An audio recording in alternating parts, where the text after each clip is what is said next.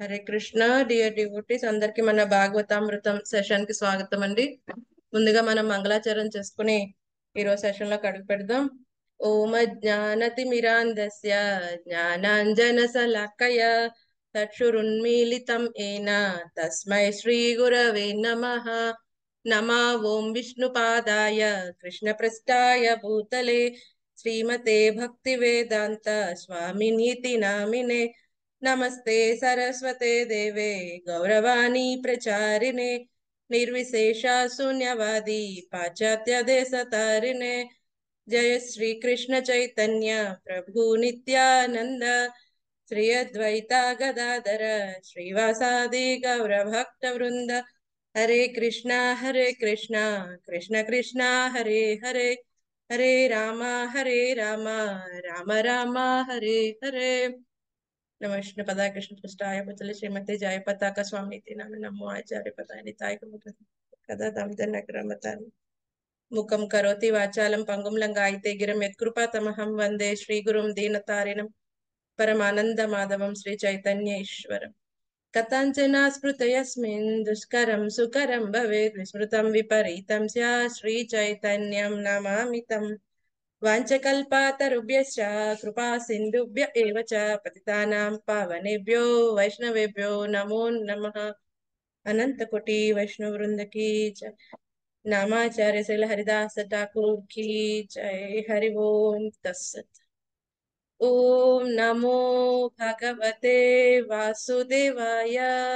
ओम नमो भगवते वासुदेवाय। ओम नमो भगवते वासुदेवाय। नारायणं नमस्कृत्य नरं चैव नरोत्तमं देवीं सरस्वतीं व्यासं। तदो जयमुदीरये शृण्वत स्वकथा कृष्ण। पुण्यश्रवणकीर्तन हृदयन्तस्थो हि अभद्राणि विदुनोति सुहृसत। नष्टप्रायेषु अभद्रेषु नित्यं भागवत सेवया। भगवते उत्तमश्लोके భక్తేర్భవతి నెక్స్ట్కి రంధ్రా శ్రీమద్ భాగవతం కీ జయ హరే కృష్ణ అందరికి స్వాగతం అండి మనం. చతుర్థ స్కంధంలో ఎనిమిదో అధ్యాయంలో ఉన్నాము. భక్త ధ్రువుడు గృహమును వీడి అరణ్యమునకు వెళ్ళుట. రైట్ హరే కృష్ణ మాతాజీ దండవత్ ప్రణామాలు. ధన్వత్ ప్రణామండి. హరే కృష్ణ మాతాజీ ధన్వత్ ప్రణామాలు. ధన్వత్ ప్రణామం. హరే కృష్ణ మధ్యాహ్నం హరే కృష్ణ మాతాజీ ప్రమాణాలు. సో ఈ మనం రోజు ఈ రోజు ప- ప్రసాదం పెట్టేది పేరు చెప్పి మాతాజీ మర్చిపోయినాను. గదాధరుడు మాతాజీ. ఏంటండి? నితాయి గౌరంద గదాధరుడు మా ప్రసాదం పెట్టే గురువు. నిత్యానంద. నిత్యానంద మహాప్రభుకి పెట్టాలి. చైతన్య. మహాప్రభుకి పెట్టాలి. ఆ, చైతన్య మహాప్రభుకి పెడతాం మాతాజీ. ఓకే జై. ఇక్కడ నిన్న మనం చెప్పుకున్నాం. సో ఎప్పుడైతే మనం ఆ యొక్క దక్ష యజ్ఞం గురించి కంప్లీట్ అయింది. అక్కడ లెసన్స్ కూడా ఏం నడుచుకున్నాం డిస్కషన్ చేసుకున్నాం. సో తర్వాత ఇప్పుడు ధ్రువ చరిత్ర అనేది స్టార్ట్ అయింది ఎనిమిదో అధ్యాయం నుంచి. సో ఎనిమిదో అధ్యాయం స్టార్టింగ్ ధ్రువ మహారాజు గురించి చెప్పే ముందు ఆ బ్రహ్మగారి యొక్క మిగతా పుత్రుల గురించి ఏమైంది? వాళ్ళెవరు? ఊర్ధ్వరేతసులు ఎవరెవరు? వాళ్ళ గురించి వివరాలు ఇచ్చారు. ఆ తర్వాత బ్రహ్మగారి నుంచి వచ్చిన ఈ అధర్మ ఈ అధర్మ యొక్క లీనియస్ అంతా కూడా చెప్పారు. చెప్పిన తర్వాత ఎవరైతే తెలుసుకుంటారో ఏమని చెప్పారు. తెలుసుకున్న వాళ్ళు చాలా జాగ్రత్తగా ఉండి ఇటువంటి కార్యక్రమాలు ఇన్వాల్వ్ అవ్వకుండా మంచిగా ధార్మికంగా జీవించే అవకాశం ఉంటుంది. ఇది ఫలశ్రుతి అని కూడా చెప్పారు. సో చాలా మంది సందేహం ఉంది కదా ఎందుకు చెప్పారు ఎందుకు చెప్పారు అందుకనే చెప్పారు. రైట్ ఇది తెలిసింది అనుకోండి ఇవి ఇవి క్వాలిటీస్ ఉంటే ఇట్ ఇస్ రిజల్ట్ కదండి ఏ విధంగా నాశనం అయిపోతాం అది క్లియర్గా చెప్పారు. అందుకని అధర్మ మార్గాన్ని ఎప్పుడైనా ఎంచుకున్న వాడికి స్టార్టింగ్ ఏదో మజా ఉన్నా చివరికి వాడు నాశనం అవుతాడని చక్కగా అర్థమవుతుంది. ఆ తర్వాత స్వయంభూ మన యొక్క పుత్రుల గురించి చెప్పడం ప్రారంభించారు. సో ఉత్తన పాద గురించి చెప్పడం ప్రారంభించారు. ఎందుకంటే ప్రియవత మహారాజు అప్పుడు తీసుకోరు. ఆయన రాజ్యం తీసుకోరు కాబట్టి ఉత్తన పాదుడు ఉత్తన పాద యొక్క ప్రియమైన పుత్రుడు యాక్చువల్గా ధ్రువుడు. బట్ అది ఆయన ఎక్స్ప్రెస్ చేయలేడు. తర్వాత అర్థం అవుతుంది మనకి. ఈ స్టోరీ చివరికి ఎలా వాడికి ఉత్తన పాదుడు కూడా ధ్రువుడు అంటే అంత ఇష్టం తెలుస్తుంది. బట్ ప్రస్తుతానికి ఆయన సురీచి ఈ యొక్క సురీచి యొక్క ఆకర్షణలో ఉన్నాడు కాబట్టి ధ్రువ మహారాజు వచ్చి తన వల్ల కూర్చుంటాను అన్నా సరే ఏం మాట్లాడకుండా ఉండిపోయేటప్పుడు దాన్ని ఆవిడ అవకాశం కింద తీసుకుని ఆవిడ ఏం చెప్పింది? మళ్ళీ నువ్వు విష్ణుకు ప్రార్థించి నా గర్భంలో పుడితే తప్ప ఈ సింహాసనం మీద గాని మీ తండ్రి గారి ఒళ్ళో గాని కూర్చోడానికి అధికారం లేదు. సో చాలా క్లియర్గా తెలుస్తుంది. రైట్? ఏంటి? ఎంత గర్వంగా ఉంది ఎంత అసూయగా ఉంది అని. కదండి? సో ఏదైనా దాయవచ్చు కానీ వేరే వాళ్ళ పట్ల ఉన్న ద్వేషం ఏదో ఒక విధంగా బయటకు వచ్చేస్తుంది. చిన్న పిల్లవాడు. అంత కఠినమైన పదాలు వాడాల్సిన అవసరం లేదు. బట్ చాలా కఠినమైన పదాలు ఆవిడ వాడింది. సో మీరు చూస్తుంటే ఈవెన్ ఈ అధర్మ రిలి అధర్మ రీజియన్లో కూడా ఉంది. ఆ? సో ఈ యొక్క హార్ష్ స్పీచ్ ఏంటి? దురుక్తి. దురుక్తి ఎవరి సంతానం? హార్ష్ స్పీచ్ ఎవరి సంతానం? నిన్న విన్నాం కదా. క్రోధము మరియు హింస ఎన్వి సో ఎప్పుడైతే మనం క్రోధంగా ఉన్నాం వేరే వాళ్ళ పట్ల అసూయతో ఉన్నాం ఏమొస్తుంది మన మాట? బాగా వస్తుందా ఏమండి? ఇప్పుడు ఎవరి పట్ల మనం ద్వేషంగా ఉన్నాం ఇప్పుడు దాంతో పాటు మనం క్రోధంగా ఉన్నాం. ఇప్పుడు మన వాళ్ళకి కనిపించారు అనుకోండి మన మాట చాలా చక్కగా ఉంటుందా? వాళ్ళతో వ్యవహారం చాలా హార్ష్గా. ఉంటది? కదండి అదే కదా నిన్న వాళ్ళ సంతానం ఏంటి? క్రోధము మరియు ఈ యొక్క హింస ఎన్వి యొక్క సంతానం ఏంటి? దెబ్బలాట్లు క్వారల్ దెబ్బలాటలు ప్లస్ ఇంకోటి ఏంటి ఇంకోటి ఏంటి హార్ష్ స్పీచ్. కదండి చాలా పరుషమైన వాక్కులు. సో ఈ ఎప్పుడైతే ఎన్వి ఉండటం కారణంగా ఏం చేస్తాం మనం? ఎన్వి యొక్క రిజల్ట్ ఏంటి? పరుషమైన పదాలు వాడతాం. వేరే వాళ్ళతో కలహాలు పెట్టుకుంటాం. కదండి ఇప్పుడు ఈ యొక్క సూర్యచ్ యొక్క విషయంలో అదే జరుగుతుంది. చాలా ఎన్విగా ఉంది. ఏం చేసింది ఇప్పుడు? అవతల చిన్న పిల్లవాడు అన్న విషయం కూడా చూడకుండా చాలా పరుషమైన పదాలు చెప్పింది.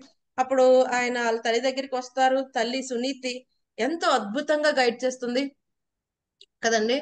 సో యాక్చువల్గా ఈ సునీతి అనేది ఏంటంటే క్యారెక్టర్ ఎలా చెప్తుంది మనకి? What we have to do? మనం ఎలా వ్యవహరించాలి అని చెప్తుంది సునీతి అనే క్యారెక్టర్. ఈ సురుచి ఏం చెప్తోంది? మనం ఏం చేయాలనుకుంటున్నామో అది సురుచి చేస్తుంది. యాక్చువల్గా జనరల్గా మనం ఎలా బిహేవ్ చేయాలనుకుంటామో సురుచి క్యారెక్టర్ అయితే మనం ఐడియల్గా ఎలా ప్రవర్తించాలి? ఎలా ఉండాలి? అన్నది సునీతి క్యారెక్టర్ అన్నమాట. రైట్? మనం సురీతి లాగా ఉంటే దెబ్బైపోతాం. సునీతి లాగా ఉండాలి కష్టమైనప్పటికీ కూడా. లర్న్ చేయాలి ఆ క్వాలిటీస్ లేకపోతే లర్న్ చేయాలి. కొంతమంది ఏమంటారు మీకు పుట్టినప్పటి నుంచి ఇంతేనండి. ఊరికి కోపం వచ్చేస్తుంది అంతే. అంటే ఊరికి కోపం వచ్చి అనేస్తే ఊరుకుంటారు ఏంటి? కదండి ఏం చేయాలి? మీకు ఆ క్వాలిటీస్ ఉంటే వాటిని విడిచిపెట్టి చెడు గుణాలను ఏం చేయాలి? మంచి గుణాలు నేర్చుకునే ప్రయత్నం చేయాలి. సో లేదండి చిన్నప్పటి నుంచి అంతే. చిన్నప్పటి నుంచి ఈ పాము మా ఇంట్లోనే పెరిగిందండి. అందుకని నా పక్కనే పడుకోబెట్టుకుంటాను అంటే ఎలా ఉంటుంది? పాముతో పడుకుంటామా? లేదు కదా. ఆ పాము ఉందని చెప్పి మన దగ్గర ఎవరు రారు. అలాగే ఈ క్రోధమైన దుర్వాక్యాలు మాట్లాడే వాళ్ళైనా వాళ్ళకి వాళ్ళు ముద్దుగా చెప్పుకోవచ్చు. నేను చిన్నప్పటి నుంచి ఇదే అండి. ఇది నా పాము అండి చిన్నప్పటి నుంచి పెంచుకుంటున్నా. ఇప్పుడు ఇంత పెద్దదైంది విడిచిపెట్టమంటే అలా అంటే ఓకే నీ పాముతో నువ్వే ఉండు. అందరు ఏం చేస్తారు? సైడ్ పెట్టేస్తారు.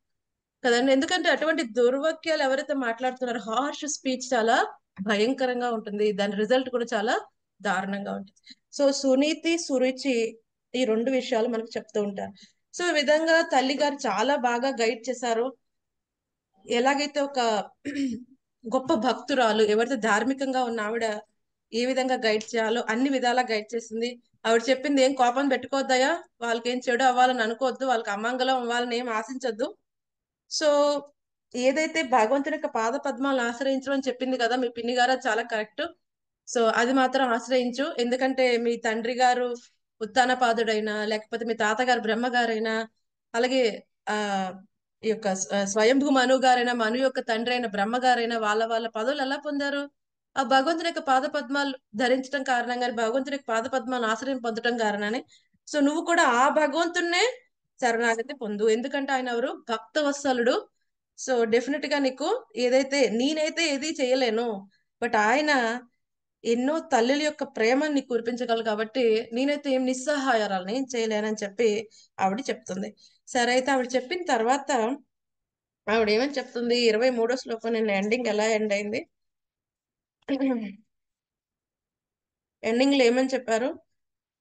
ధ్రువకుమార పద్మ పలాసలోచనుడకు భగవానుడు తప్ప నీ దుఃఖాన్ని శమింపజేయగలవారు ఎవరూ లేరు. క్లియర్గా చెప్పేసింది ఆవిడ. భగవంతుడు తప్ప ఎవరు నీ దుఃఖాన్ని తగ్గించలేరు. నేను కూడా తగ్గించలేను. నా దగ్గర ఎంత ఇచ్చినా వేస్ట్ ఇంకేముంటుంది ఆవిడ?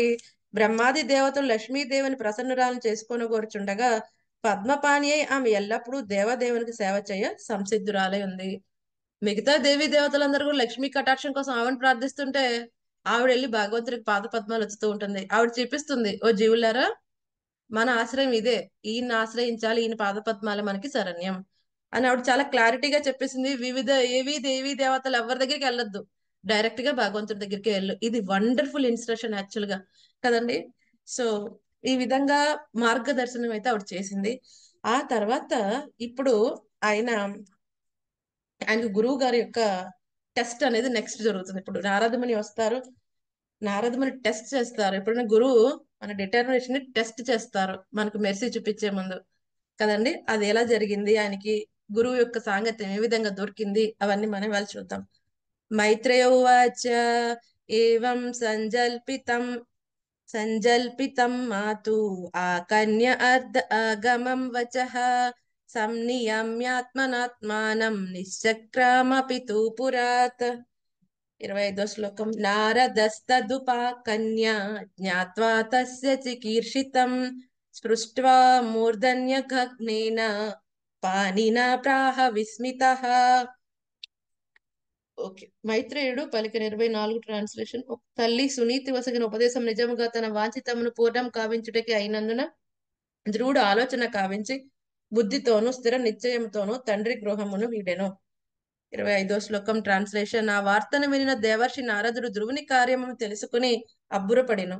వెంటనే ధ్రువుని దరిచేరి సమస్త పుణ్యప్రదముకు తన హస్తముతో ఆ బాలుని శరమును తాకి అతడు పలుకనారంభించెను ఓకే. శాంతి మాతాజీ ఇరవై నాలుగు చదవండి. ఇరవై ఐదు శశికళ మాతాజీ హరే కృష్ణ. కృష్ణ కృపామూర్తి శ్రీల ప్రభుపాదుల వారి భాష్యం ప్రభుపాదికి జై.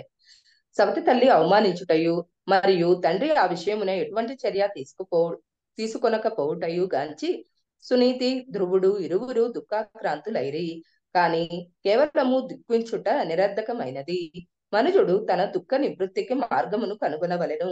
కనుకనే దేవదేవుని పాద పద్మములను ఆశ్రయించవలెనని వారిరువురు నిశ్చయించుకొనిరి.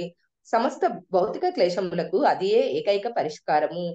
ధ్రువుడు భగవద్ అన్వేషణకై తండ్రి పురము నుండి వీడి ఏకాంత ప్రదేశమునకు పోయేనని ఈ సందర్భమున సూచితమైనది. ఎవరైనా మనశ్శాంతిని వంచినచో గృహ కల్మషము నుండి బయటపడి అరణ్యమునకేగి శ్రీహరిని ఆశ్రయించవలనని భక్త ప్రహ్లాదుడు ఉపదేశించను. గౌడీయ వైష్ణవులకు ఆ అరణ్యము బృందారణ్యమే బృందావనము. బృందావనేశ్వర్యకు శ్రీ రాధారాణి ఆశ్రయమున బృందావనమునందు చేరినచో మనుజుని జీవన క్లేశములన్నీయును సులభముగా పరిష్కారము కాగలవు. Thank you mataji. Hare Krishna. ధన్యవాద. ప్రణామం. హరే కృష్ణ మాతాజీ. ప్రణామం. ప్రణామం. భాష్యం బై జయశ్రీల ప్రపాదుల వారికి జై. రాజ ప్రాసాదం నందు జరిగిన సంఘటనలన్నింటినీ ధ్రువుడు తన తల్లితో పలుకున్నప్పుడు నారదుడు అచ్చట లేడు. అయినచో నారదుడు ఆ వార్తనను ఎట్లు విననడి ప్రశ్న ఉదయించవచ్చు అతడు త్రికాల జ్ఞానజ్ఞుడై అనుటయే దానికి సమాధానం. అనగా పరమాత్ముని వలనే అతడు అతడును ఎల్లరి హృదయములందలి భూత భవిష్యత్ వర్తమానములను ఎరుగగలిగినంతటి శక్తిమంతుడు కనుకనే ధ్రువుని దృఢ దృఢ నిశ్చయం ఎరిగినంతట అతనికి సహాయం చేయుటకే నారదుడు అర్థించను ఈ విషయంను ఈ విధముగా వివరింపవచ్చును. దేవదేవుడు ఎల్లరి హృదయమునందును వసించి ఉన్నాడు. భక్తి యోగంన ప్రవేశించుటకు జీవుడు శ్రద్ధను కలిగి ఉన్నాడని గ్రహించినంతనే అతడు తన ప్రతి ప్రతినిధిని పంపగలడు. ఆ విధముననే నారదముని ద్రోణి చెంతకు పంపబడింది ఈ విషయమై చైతన్య చరితామృతం నందు కృష్ణ ప్రసాదేపాయ భక్తి లతా బీజ అని వివరింపబడినాయి అనగా గురువు మరియు శ్రీకృష్ణుని అనుగ్రహించి మనుజుడు భక్తి యోగంలో ప్రవేశించగలడు. ద్రోణికి గల దృఢ నిశ్చయం కారణమునని శ్రీకృష్ణుడు అనగా పరమాత్మ రూపంన తన ప్రతినిధి నారదుని మంత్రదీక్షకై వెంటనే పంపే. హరే కృష్ణ మాతాజీ. ధన్యవాదాలు. Hare Krishna. Thank you mataji. So ఇప్పుడు మైత్రేయుడు ఇంకా కంటిన్యూ చేస్తున్నారు. ఏమైంది? ఎప్పుడైతే తల్లి యొక్క ఉపదేశం అంతా విన్నాడు ఆయన? సో ఆవిడ చెప్పింది ఈ విధంగా వెళ్ళి అరణ్యానికి వెళ్ళి ఋషులందరూ కూడా విష్ణువుని సంతృప్తిపరిచి ఆయన కోసం గొప్ప తపస్సు చేసి ఆయన యొక్క దర్శనం పొందుతారు. ఒకవేళ ఆయన యొక్క దర్శన భాగ్యమై ఆయన సంతృప్తి చెందితే ఇంకా నువ్వు పొందలేనిది ఏది ఉండదు. ఎందుకంటే మీ తాతగారు మీ తండ్రి గారు అలాగే బ్రహ్మ గారు వీళ్ళందరూ ఆ విధంగా పొందారు. ఎవరిని వేరే దేవీ దేవతలు ఎవరిని ఆశ్రయించవద్దు అని ఆవిడ అంతా దృఢంగా చెప్పింది కాబట్టి ఆయన దాన్ని చాలా సీరియస్గా తీసుకున్నాడు ఆ విషయాన్ని. తీసుకుని సరే అయితే తల్లిగారు చెప్పారు భగవంతుని ఆశ్రయించడమే ఇప్పుడు నా కర్తవ్యం. ఎందుకంటే ఇప్పుడు నీ ధ్రువుడు ఏదైతే అనుకుంటున్నాడో ఆ కోరిక కేవలం భగవంతుడే తీర్చగలరు. ఏమనుకుంటున్నాడో మనకు త్వరలోనే రివీల్ అవుతుంది. నారద మనకి ఆయన ఎక్స్ప్రెస్ చేస్తారు. దిస్ ఈజ్ నాకు ఇది కావాలి. ఇంకేది వద్దు. అని చెప్తారనమాట రైట్ సో అందుకని ఆయన ఏం చేశాడు? రాత్రి రాత్రి ఏం చేశాడు ఆయన ఆ యొక్క గృహాన్ని విడిచిపెట్టాలి. పితు పురాత్. పురాత్ అంటే గృహం. ఆయన గృహ గృహం ఇంటిని విడిచిపెట్టేశాడు. చూడండి. సో ఎందుకంటే క్షత్రియ బ్లడ్ అక్కడ కదండి? క్షత్రియ బ్లడ్ క్షత్రులకి ఏముంటుంది? క్షత్రియ గుణాలు ఏంటి పౌరుషం. వాళ్ళకి పౌరుషం ఉంటుంది. ధైర్యం ఉంటుంది. ఐదేళ్ళ పిల్లవాడు బయటికి వెళ్ళమంటే స్ట్రీట్ చివరికి కూడా వెళ్ళడు. ఏమండి? లైట్ లేదమ్మా అది ఇది నువ్వురా. ఎన్ని చెప్తారు? పదేళ్ళు వచ్చినా వెనక తిరుగుతారు. కానీ ఇక్కడ ఐదేళ్ళ పిల్లవాడు ఎలా ఉంది? ఇది క్షత్రియ బ్లడ్ అన్నమాట. ఎలా ఉంటుంది అది పౌరుషం ఉంటుంది ధైర్యం ఉంటుంది కదండి. దానికి తగ్గట్టుగా ఆవిడ ఏం చేసింది? చాలా అవమానం చేసింది. సో ఎందుకంటే ఒకటి మనం గుర్తుపెట్టుకోవాలి. ఆధ్యాత్మిక జీవితంలో అయినా భౌతిక ప్రపంచంలో అయినా అవమానాన్ని ఎప్పుడైతే తట్టుకొని నిలబడటం అనేది చాలా కష్టమైన విషయమైనా తట్టుకొని నిలబడిన వాళ్ళు విజయం సాధిస్తారు ఎప్పుడైనా సరే. సో ఎలాగండి మనం ఆ, చేయాలి అంటే యాక్చువల్గా అది డైజెస్ట్ చేసుకోవాలి. ఎవరైతే ఇన్సల్ట్ మనం చేస్తారో ఆ ఇన్సల్ట్ మనం డైజెస్ట్ చేసుకుంటే మన స్పిరిచువల్ లైఫ్లో ముందుకు వెళ్ళగలం ఇట్స్ వెరీ డిఫికల్ట్. కదండి? ఎప్రిషియేషన్ చాలా బాగుంటుంది. చాలా గాలిలో తేలుస్తుంది. బట్ ఇన్సల్ట్ ఏం చేస్తుంది? తీసుకుని వాళ్ళు ఒకేసారి నుప్పులు గుండెలో తోసేస్తుంది. అప్పుడు ఏం చేయాలి? ఏం చేయాలండి?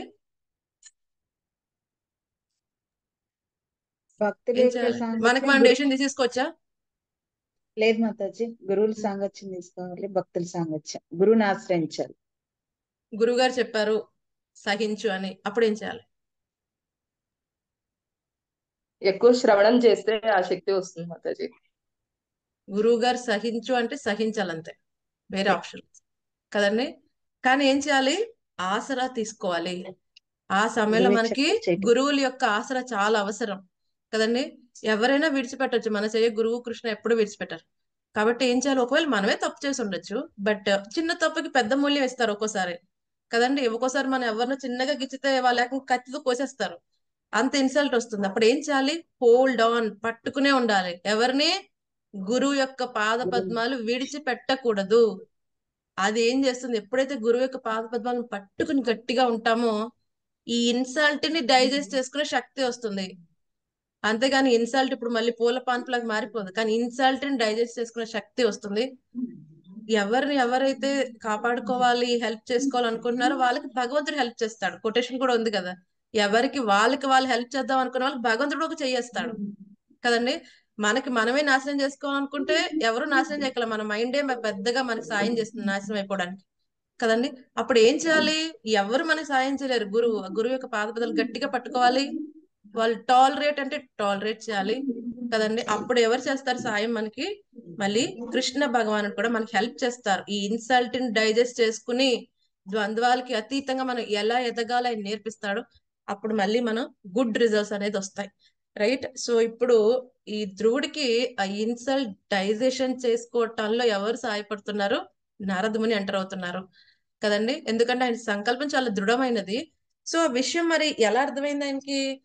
నారదమునికి ఎలా తెలిసింది? ఎందుకంటే ప్రతి ఒక్క హృదయాల్లో కూడా పరమాత్మ నివసిస్తూ ఉంటాడు. సో ఎప్పుడైతే ఒక జీవుడు అనుకుంటాడు భగవంతుడి దగ్గరికి నేను చేరాల్సిందే నేను భక్తితో సేవ చేయాల్సిందని ఎప్పుడైతే దృఢంగా నిశ్చయించుకుంటాడో ఆయన ఏం చేస్తారు? ఆయన ఒక ప్రతినిధిని పంపిస్తారు. కదండి? సో లోపల ఉన్న ఈ చైత్ర గురు పరమాత్మ బయట మనకు ఒక భగవంతునికి ప్రతినిధిని మన జీవితంలోకి తీసుకుని వస్తారు. సో తర్వాత ఏం చేస్తారు? లోపల చైత్ర గురువు మనకి ఇన్సెషన్ ఇస్తూ ఉంటారు. బయట స్పిరిచువల్ మాస్టర్ ప్రామాణికమైన గురువు ఇన్స్ట్రక్షన్ చేస్తూ ఉంటారు. సో వీళ్ళిద్దరూ మళ్ళీ మన భగవంతుడైన దేవాది దేవుడి దగ్గర తీసుకుని వెళ్తారు. అందుకని ఇక్కడ ప్రోపాద్ కూడా కూడా రాశారు గురు కృష్ణ ప్రసాదేపై భక్తి లత బీజ. సో గురువు లోపల పరమాత్మ ఇద్దరు కదండి. పరమాత్మ ఎప్పుడైతే మనం ఐడెంటిఫై చేశారో మనకు దేవతల గురువుని పంపిస్తారు. మళ్ళీ ఆ గురువు ఏం చేస్తారు? మళ్ళీ దేవాది దేవుడి దగ్గర గురించి తెలిసి చెప్పి మళ్ళీ ఆయనకి సర్వస్వ శరణాగతి పొందేట్టుగా చేస్తారు. సో ఈ విధంగా ఇది ఈ యొక్క గురువు కృష్ణ గురువు కృష్ణ మన జీవితంలో ఎప్పుడు కూడా కంటిన్యూస్గా ఉంటారు. ఈ గురువుని సాటిస్ఫై చేస్తాం కృష్ణ సాటిస్ఫై అవుతారు. కృష్ణ సాటిస్ఫై అయిపోతే ఏమవుతుంది? మన జీవితంలో గురువు భక్తుల యొక్క సాంగత్యం కంటిన్యూస్గా ఉంటుంది. ఎప్పుడైతే మనం గురువుకి అపరాధం చేసాం కృష్ణుడికి అపరాధం అయిపోయింది అప్పుడు ఏం చేస్తారు? కృష్ణ వెంటనే కనెక్షన్ తీసేస్తారు. ఏంటి? మన జీవితంలో గురువు గారి యొక్క కృప భక్తుల యొక్క సాంగత్యం. రెండు బటన్స్ తీసేస్తాడు ఆయన అంతే. ఇంకేం లేదు. కదండి? ఆ రెండే మన భక్తి జీవితానికి ఆధారం కాబట్టి ఏం చేయాలి? చాలా జాగ్రత్తగా గురువుని ఎప్పుడు కూడా సేవించుకోవాలి. గురువు సంతృప్తి పడతారు కృష్ణుడు సంతృప్తి పడతారు భక్తుల యొక్క సాంగత్యం ఉంటుంది గురువు ఉంటారు. ఆధ్యాత్మిక జీవితంలో ఏ సన్నివేశానైనా తట్టుకుని ముందుకెళ్ళగలం. సో ఈ విధంగా పరమాత్మకి తెలుస్తుంది కదా? సో పరమాత్మ ఇన్స్పైర్ చేశారు నారద మునిని. ఆ విధంగా నారద మునికి కూడా తెలుస్తుంది. ఎందుకంటే పరమాత్మ అని రివీల్ చేస్తారు శుద్ధ భక్తులకి. కాబట్టి వాళ్ళకి అన్ని తెలుస్తాయి. అప్పుడు ఏమైంది? నారదముని అక్కడికి వచ్చావు. సరే చాలా అబ్బురపడ్డాడు ఆశ్చర్యపడ్డాడు ఆయన. ఓ ఇంత చిన్న పిల్లవాడు ఇంత దృఢమైన నిశ్చయమా? భగవంతుని దర్శించాలి భగవంతుని వేడుకోవాలి అని. సరే అయితే అని చెప్పి అక్కడికి వస్తారు. ప్రభుపాద్ గారు ఇక్కడ రాశారు. సరే అయితే ఇప్పుడు మనం అరణ్యానికి వెళ్ళాలా అంటే ఏమంటున్నారు? గౌడీయ వైష్ణవులకు అరణ్యం బృందావనమే. సో బృందావనరేశ్వరి యొక్క శ్రీమతి రాధారాణి ఆశ్రయమున మనం అక్కడ ఆశ్రయం తీసుకునే ముందు జీవన క్లేశములన్నీ సులభముగా పరిష్కారం అవుతాయి అందుకనే మన సాధన చక్కగా ఉంటే మన ఇల్లే బృందావనం అవుతుంది.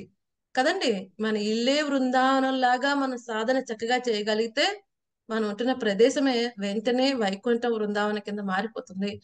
ఆ విధంగా మనం ఏం చేయాలి? ఇంటిలో ఉన్న ప్రతి ఒక్క యాక్టివిటీస్ని మనం అరేంజ్ చేసుకోవాలి. అప్పుడు ఆ యొక్క వైకుంఠ వాతావరణం మన ఇంట్లో వస్తుంది. వైకుంఠ వాతావరణం అంటే ఏంటండి? డిఫరెంట్గా ఉంటుందా? రెండు ఫ్యాన్లు ఎక్స్ట్రా పెట్టాలా? ఏం చేయాలి? వైకుంఠ వాతావరణం అంటే ఏంటి? ప్రొద్దున మంగళముహూర్తంలో లేవడము మాతాజీ భక్తి కార్యాలు చేయడం. ఓకే అటన్నిటికంటే అటన్నిటికంటే సింపుల్ థింగ్ ఏంటి? వైకుంఠం అంటే ఏంటి? రహితంగా ఉంటుంది మాత ఇల్లు క్లీన్గా భగవంతుడికి సునీత హరిబాబు మాతాజీ. ఏదో చెప్పారు నేను వినలేదు నాకు వినిపించి ఇల్లు క్లీన్గా పెట్టుకోవాలి సునీత. హరిబాబు మాతాజీ చెప్పండి నాకు వినిపించట్లేదు. హరే కృష్ణ మాతాజీ. చెప్పండి ఇప్పుడు వినిపిస్తుంది? దుఃఖరహితంగా ఉంటుంది మాతాజీ ఓకే దుఃఖరహితంగా ఉంటుంది. ఓకే ఇంకా? క్లీన్గా పెట్టుకోవాలి కీర్తన చేయాలి? ఇల్లు క్లీన్గా పెట్టుకోవాలి. అక్కడ కల్పవృక్షాలు కామధేను ఇవన్నీ కూడా ఉంటాయి. ద్వేషాలు ఈర్ష్య ఉండదు మాతాజీ. ఆ వండర్ఫుల్ సునీత మాతాజీకి జై. ఈ విషయం నేను వెయిట్ చేస్తున్నా. ఎక్కడైతే ద్వేషం అవన్నీ ఉంటే ఇంకా మన భౌతిక ప్రపంచంలో ఉన్నట్టే మన ఇల్లు వైకుంఠం ఇంకా అవ్వలేదు కదండి? సో ఎన్వి కామ క్రోధ లోభ మోహ మదమాశ్చర్యాలు వీటికి వైకుంఠంలో ప్లేస్ లేదు. అవి మన ఇంట్లో ఉంటున్నాయంటే మనకి వైకుంఠంగా ఇంకా మార్చలేదు అనమాట కదండి? అవన్నీ తీసేస్తే అప్పుడు మన ఇల్లు వైకుంఠం అవుతుంది. కదండి? సో అవన్నీ తీసేయాలి. స్లోగా తీసేయాలి. ఒకేసారి అన్ని తీసేయాలి ఎందుకంటే ఎన్నో జన్మల నుంచి మోసుకొస్తున్నాం కదా అవి. చెత్త కొంచెం కొంచెం కొంచెం కొంచెంగా క్లీన్ చేయాలి. బట్ రోజు కొంచెం కొంచెం క్లీన్ చేయాలి. కొత్తగా యాడ్ చేయకూడదు. కదండి? సో ఈ విధంగా మన ఇల్లు కూడా వైకుంఠం చేసుకోవచ్చు. ఇప్పుడు ధ్రువుడు చక్కగా వెళ్తున్నారు. నారదమునికి ఆ విషయం తెలిసింది. సో నారదముని ఏం చేస్తున్నారు చూద్దాం. అహో తేజ క్షత్రియానాం మానభంగామృష్యతాం బాలోప్యయం హృదా దత్తే యస్సమాతుర సద్వచ అహో తేజ సంపన్నులకు క్షత్రియులు ఎంత అద్భుతమైనట్టి వారు. తమ గౌరవము కొద్దిగా ఉల్లంఘింపబడటయు వారు సహింపరు. ప్రస్తుత విషయమును చూడుడు. ఇతడు చిన్న పిల్లవాడే అయినను సవతి తల్లి పరుష వాక్కులు ఇతనికి సహింపరానివిగానైనవి. నారదువాచ నాదు నాప్యవమానంతే సమ్మానం వాపి పుత్రక లక్షయామా కుమారస్య సక్తస్య క్రీడనాదిషు. దేవర్షకు నారదుడు ధ్రువునితో ఇట్లు పలికెను బాలక నీవు చిన్న పిల్లవాడు. చిన్న పిల్లలు క్రీడాదులందు ఆసక్తుల ఎందురు కదా ఎందులకై నీవు అవమానపు పలుకులతో అంతగా ప్రభావితుడవైతివి? వికల్పే విద్యమానేపి నహస్యంతోష హేతవః పుంసో మోహమృతే భిన్న యల్లోకే నిజ కర్మభి ధ్రువకుమార గౌరవభంగము కలిగినదని నీవు తలచినప్పటికీ అసంతోషమునకు ఎట్టి కారణము లేదు. ఇటువంటి అసంతృప్తి మా యొక్క మరి యొక్క లక్షణం. ప్రతి జీవుడును తన పూర్వకర్మలచే నడుపబడును కావున సుఖదుఖములకై నానావిధ జీవనములు కలుగుచున్నవి. విజయలక్ష్మి మాతాజీ మీరు ఇరవై ఆరు చదవండి. ఇరవై ఏడు శ్రీదేవి అడప మాతాజీ ఇరవై తొమ్మిది ఇరవై ఎనిమిది ఎవరు? లక్ష్మీదేవి మాతాజీ చదవండి నేను కూడా చదువుతా మాతాజీ. అలాగే అలాగే. సుభద్ర మాతాజీ నెక్స్ట్ మీకు ఇస్తానండి. అలాగే. ఐదు గంటలకు కూడా చదవలేదు మాతాజీ. పెద్దకి పేరగా పీమండి అలాగే అలాగే. ఓకే కంటిన్యూ చేయండి. విజయలక్ష్మి మాతాజీ హరే కృష్ణ మాతాజీ. దండోత్ ప్రణాం ధన్యవాదాలు భాష్యముపై శ్రీల ప్రపాదుల వారికి జై. క్షత్రియుల గుణములు భగవద్గీత యందు వర్ణింపబడినవి. ఆత్మ గౌరవమును కలిగి ఉండుట మరియు యుద్ధము నుండి పలాయనము కాకుండుట అనునవి వారి రెండు ముఖ్య గుణములు. ధ్రువుని శరీర శరీరమందలి క్షత్రియ రక్తము సహజముగానే అతి చురుకుగానున్నట్లు ఇచ్చ ఇచ్చట గోచరించుచున్నది. వంశమునందు బ్రాహ్మణ స్వభావము క్షత్రియ స్వభావము లేక వైశ్య స్వభావము నెలకొని ఉన్నచో సహజముగానే పుత్రులు పౌత్రులు ఆయా తరగతికి చెందిన స్వభావమును పునికి పుచ్చుకొందురు. కనుకనే వైదిక విధానం అనుసరించి సంస్కార విధిని ఖచ్చితంగా పాటించవలెను. వంశమందరి సంస్కారములను పాటింపంచో మనుజుడు శీఘ్రమే నిమ్న జీవన స్థాయికి పతనము చెందగలడు. హరే కృష్ణ మాతాజీ ధన్యవాదం థ్యాంక్ యూ మాతాజీ. హరే కృష్ణ మాతాజీ దండవత్ ప్రణామాలు. సాధారణముగా ఎవరైనా బాలుడిని మూర్ఖుడా అని తిట్టినచో అతడు నవ్వునే గాని ఆ అమాయక అవమానకారి అవమానకర వాక్యములను గంభీరముగా గ్రహింపగ గ్రహింపడు. అదే విధముగా గౌరవపూర్వక వాక్యములను పలికినప్పుడు వానిని అతడు గుర్తింపజాలడు. కానీ ధ్రువుని విషయమున మాత్రము అతని క్షత్రియ పౌరుషము ఎంత బలవత్తరముగా నుండిననగా సవత తల్లి చేసిన అవమానమును అతడు ఏమాత్రము సహించజాలకపోయిను. అది అతని క్షత్రియ గౌరవమునకు గాయపరచెను. హరే కృష్ణ మాతాజీ ధన్యవాదాలు. హరే కృష్ణ. హరే కృష్ణ మాతాజీ దండవత్ ప్రణామాలు. ధన్యవాద ప్రణామం అండి భౌతిక సంస్కర్గముచే జీవుడు కలుషితుడు గాని ప్రభావితుడు కాని కాడని వేదములందు తెలుపబడినది. తన పూర్వపు కామకర్యముల కామకర్మల వలనే అతడు నానావిధ దేహములను పొందుతుండును కానీ ఆత్మస్వరూపునిగా తాను సుఖమునకు గాని దుఃఖమునకు గాని అతీతుడనిడి తత్వమును మనుజుడు తెలుసుకొనినప్పుడు ముక్త పురుషునిగా భావింపబడును. ఈ విషయమే భగవద్గీత పద్దెనిమిది పాయింట్ యాభై నాలుగు ఎందు బ్రహ్మభూత ప్రసన్నాత్మ అని జోపరచబడినది మనుజుడు నిజముగా ఆధ్యాత్మిక స్థితి ఎందు సుస్థాపిడైన సుస్థాపితుడైనప్పుడు శోకింపవలసినది కానీ కోరవలసినది కానీ ఏదియునూ ఉండదు. ధ్రువుడు కేవలము చిన్నపిల్లవాడని మానవ మానములతో ప్రభావితుడు కాకూడదని నారదముని తొట్టతులత తెలియజెప్పకోరాను. ఒకవేళ అతడు మానవ మానవ మానములను ఎదిగినంతగా వికాసము చెందని వాడైనతో వానిని గూర్చిన అవగాహనను తన జీవితమునకు అన్వయించుకొనవలెను. పూర్వకర్మల వలననే మానాపమా మానాప మానవమానాలను కలుగునని ఎరిగి ఉండవలెను. అనగా ఎట్టి పరిస్థితుల ఎందును మనుజుడు దుఃఖమున దుఃఖము వలన గాని సుఖం సుఖభావములను గాని పొందరాదు. హరే కృష్ణ మాతాజీ. ధన్యవాదాలు ధన్యవాదాలు అండి సో ఇక్కడ నారదముని చెప్తున్నారు అహో! ఆ అహో అంటే ఎంత ఆశ్చర్యకరమైన విషయం. అదే అహో బిలం అహో బలం చెప్పుకున్నాం కదా అహో ఎంత అద్భుతమైన స్వామి బల పరాక్రమాలు చూపించాడు. అలాగే ఇక్కడ అహో ఎంత ఆశ్చర్యకరమైన విషయం. తేజ క్షత్రియానం. క్షత్రుల యొక్క తేజం ఎలా ఉంటుంది? చిన్నపాటి గౌరవం అటు ఇటు ఉల్లంఘించబడిన ఎంత విధంగా వాళ్ళు సహించకుండా ఉంటారు? సవితి తల్లి యొక్క పౌరుష వాక్యాలు సహింపరానివిగా తనకు ఉన్నాయి చిన్న పిల్లవాడే బట్ వాటిని సహించలేని స్థితిలో ఉన్నాడు. సో ప్రభుపాద్ గారు ఇక్కడ చెప్తున్నారు. ఏమవుతుంది? మనకి యొక్క సంస్కార విధి కదండి? గర్భధాన సంస్కారం అన్ని చేస్తారు.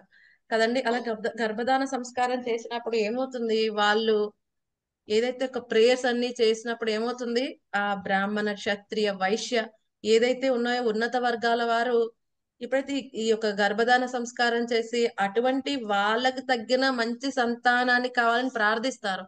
సో పుట్టిన సంతానం న్యాచురల్గా ఇవన్నీ లక్షణాలతో పుణికిపుచ్చుకుంటారు. కదండి? ఇవన్నీ లక్షణాలు కలిగి ఉంటారు వాళ్ళు. సో అందుకని ఇక్కడ చెప్తున్నారు. సహజంగానే పుత్రులు పౌత్రులు కొడుకులు మనవళ్ళందరూ కూడా అదే స్వభావాన్ని తీసుకుని ఉంటారు. వంశమందుల సంస్కారములు పాటింపనిచో మనుజుడు శీఘ్రమే నిమ్న జీవన స్థాయికి పతనం చెందుతాడు. యాక్చువల్గా గర్భధాన సంస్కారం అనేది శూద్రులకి అనేది మీ నియమంగా చెప్పలేదు కానీ బ్రాహ్మణ క్షత్రియ వైశ్యులకి ఇది కంపల్సరీ. ఎందుకంటే అది వచ్చే వాళ్ళ యొక్క ఆ జీవుడి యొక్క స్థితి డిసైడ్ చేస్తుంది కాబట్టి వాళ్ళ వంశాన్ని నిలబెట్టేవాడు రావాలనుకుంటే గర్భధాన సంస్కారం చేసి అటువంటి ఉత్తమ సంతానాన్ని వాళ్ళు ఆహ్వానిస్తారు. ఆ విధంగా ఏం చేస్తున్నారు వాళ్ళు? వాళ్ళ వంశ పారంపర్యాన్ని అలా కంటిన్యూ చేస్తారనమాట సో ఇక్కడ ఇంకేమంటున్నారు? ఇంకా నారదముని మాట్లాడుతున్నారు. ఓకే ఫస్ట్ చూశారు వస్తున్నారని తెలిసింది వచ్చారు అనుకున్నారు నారదముని. ఇతనికి సహింప్రాణిగా ఉన్న క్షత్రియ యొక్క రక్తం ఏ విధంగా ఉంటుంది అని అర్థం ఎందుకంటే మనకి భగవద్గీతలో స్వామి పద్దెనిమిది అధ్యాయ నలభై మూడు శ్లోకంలో కూడా చెప్తారు. క్షత్రియుల యొక్క లక్షణాలు ఏంటి శౌర్యం శక్తి కదండి. అలాగే వాళ్ళు వీరోచితంగా పోరాడతారు దక్షత కలిగి ఉంటారు ఈ ధైర్యంగా ఉంటారు ఏదైనా ఎదిరించే శక్తి ఉంటుంది.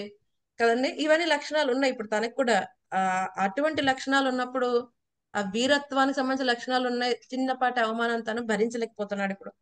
సరే అయితే ఇప్పుడు నారదమని చెప్పడం ప్రారంభిస్తారు ఇరవై ఏడు నుంచి మనకి ముప్పై నాలుగు వరకు కూడా నారదమని చెప్పే ప్రయత్నం చేస్తున్నారు. అంటే టెస్ట్ యాక్చువల్గా ఇండైరెక్ట్గా టెస్ట్. సరే ఇప్పుడు ఎందుకు ఎందుకులేనా నువ్వు వెళ్ళిపో అని చెప్పే ప్రయత్నం చేస్తున్నారు. బట్ ఏంటంటే టెస్ట్ చేస్తున్నారు తన యొక్క ఎంత నిశ్చయంగా ఉన్నాడు తన యొక్క సంకల్పం పట్ల అని. సో ఫస్ట్ ఫస్ట్ ఎలా స్టార్ట్ చేస్తున్నారు బాలక? అంటే చిన్న పిల్లవాడ? కుమారస్య బాలక. సో నీలాంటి చిన్న పిల్లలు ఏం చేస్తూ ఉంటారు? క్రీడనాదిషు ఆటలందు సక్తస్య ఆసక్తులై ఉండాలి కదా. సరే అయితే మరి నువ్వెందుకు ఇక్కడ అర్ధరాత్రి అడవిలోకి వెళ్తున్నావు? ఎందుకు నువ్వు అవమానం పలుకుతూ అంతగా ప్రభావితమయ్యావు? కదండి మన చిన్న పిల్లల్ని తిట్టిన వాళ్ళకి ఏమీ తెలియదు వాళ్ళంతగా పట్టించుకోరు. వెంటనే మళ్ళీ నవ్వుతారు. ఎవరైతే తిట్టారో మళ్ళీ వెంటనే మర్చిపోతారు. కదండి? ఈ యొక్క అవమానాలు ఇవన్నీ సీరియస్గా ఎప్పుడు తీసుకుంటాం? కొంచెం కొంచెం పెద్ద అవుతున్న కొద్దీ కదండి? చిన్న చిన్న విషయాలు చాలా గట్టిగా తీసేసుకుంటూ ఉంటారు. కానీ చిన్న పిల్లలు చాలా సరదాగా ఓకే నవ్వుకుంటూ వెళ్ళిపోతారు.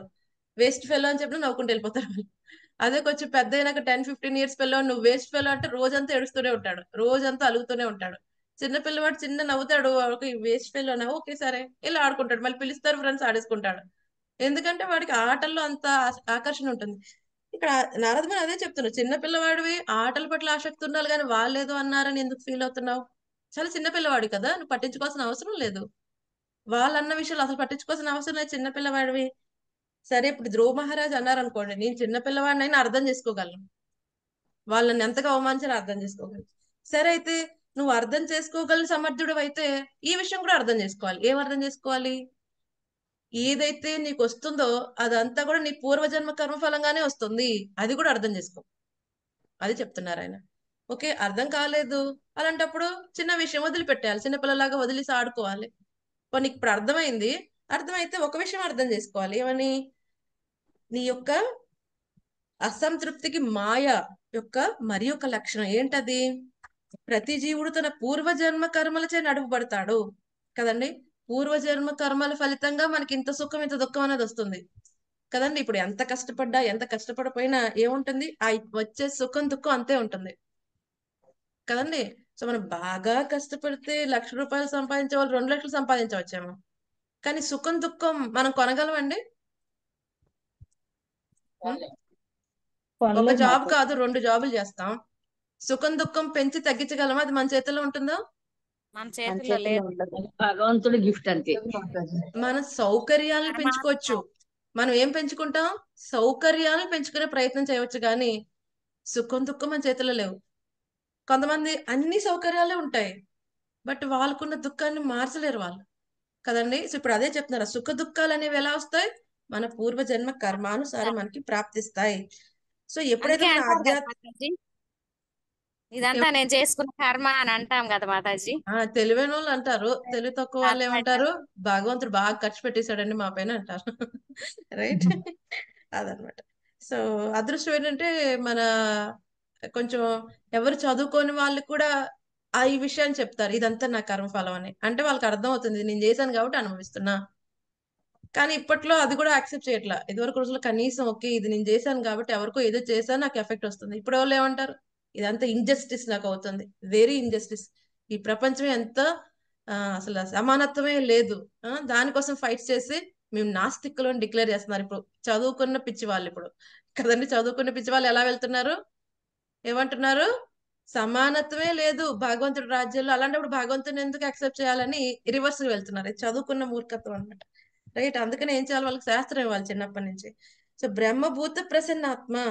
సో ఎవరైతే ఆధ్యాత్మిక జీవితంలో అర్థమైంది ఆత్మతత్వాన్ని అర్థం చేసుకున్నారో వాళ్ళు ఏం చేస్తారు?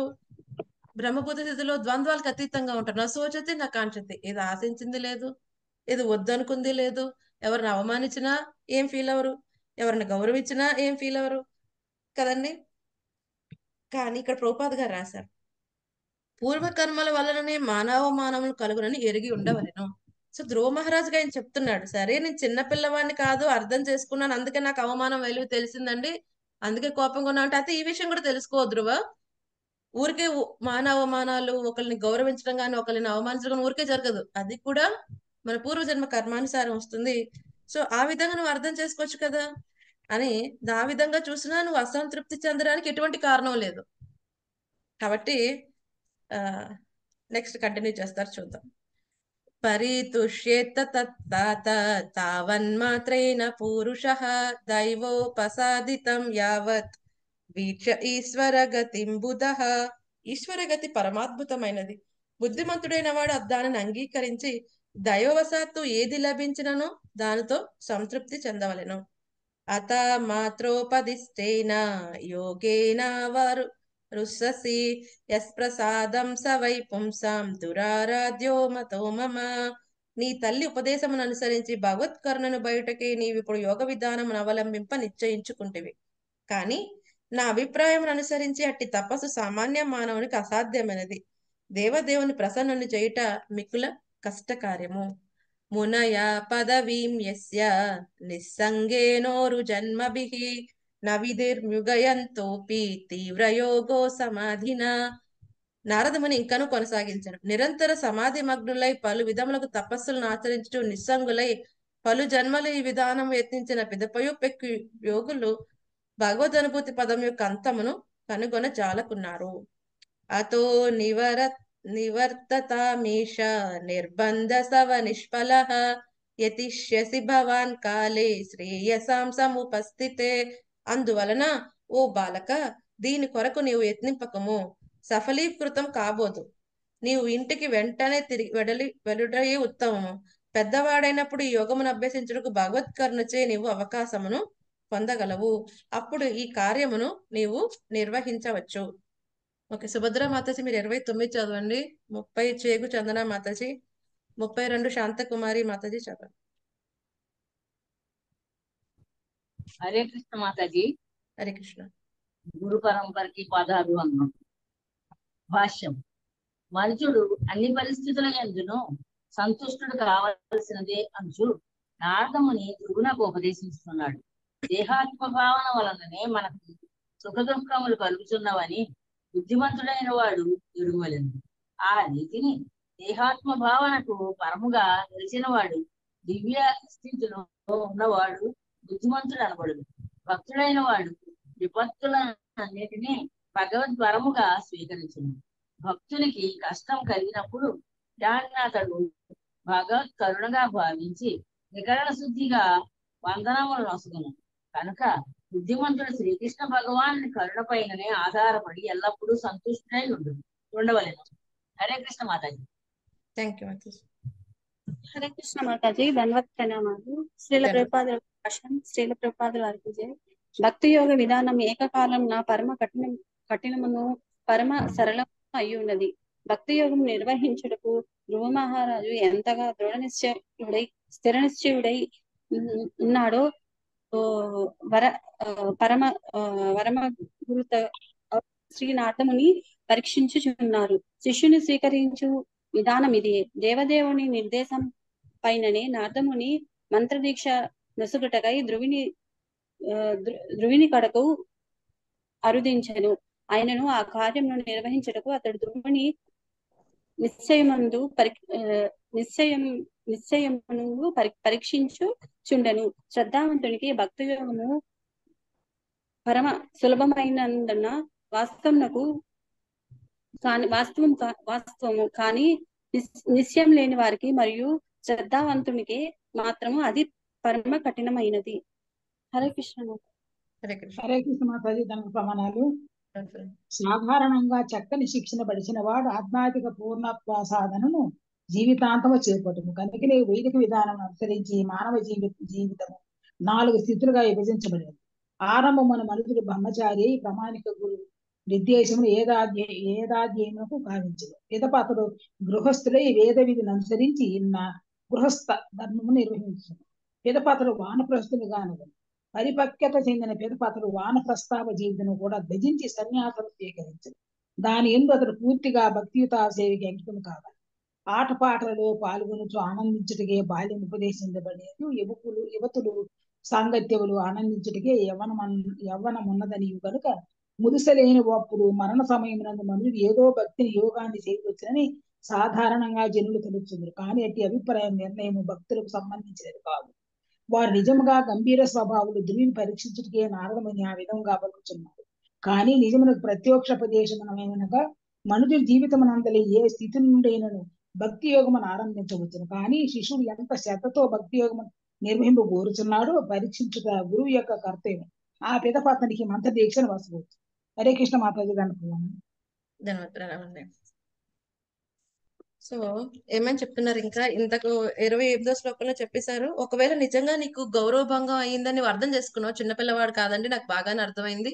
అవమానకరం అని చెప్తే అర్థం చేసుకోవాలి ఈ విషయాన్ని కూడా. అంత మెచ్యూర్ పర్సన్ అయిపోతే గనక అర్థం చేసుకోవాలి. ఇది కూడా కర్మానుసారం జరుగుతుంది. ఒకరు సుఖం వస్తున్నా ఒకరికి సుఖం వస్తున్నా ఒకరికి దుఃఖం వస్తున్నా అదంతా కూడా వాళ్ళ కర్మానుసారం వస్తుంది. కానీ ఎవరు వేరే వాళ్ళ పట్ల విధించేదేం కాదు అని చెప్పారు. మళ్ళీ తర్వాత ఏమన్నారు?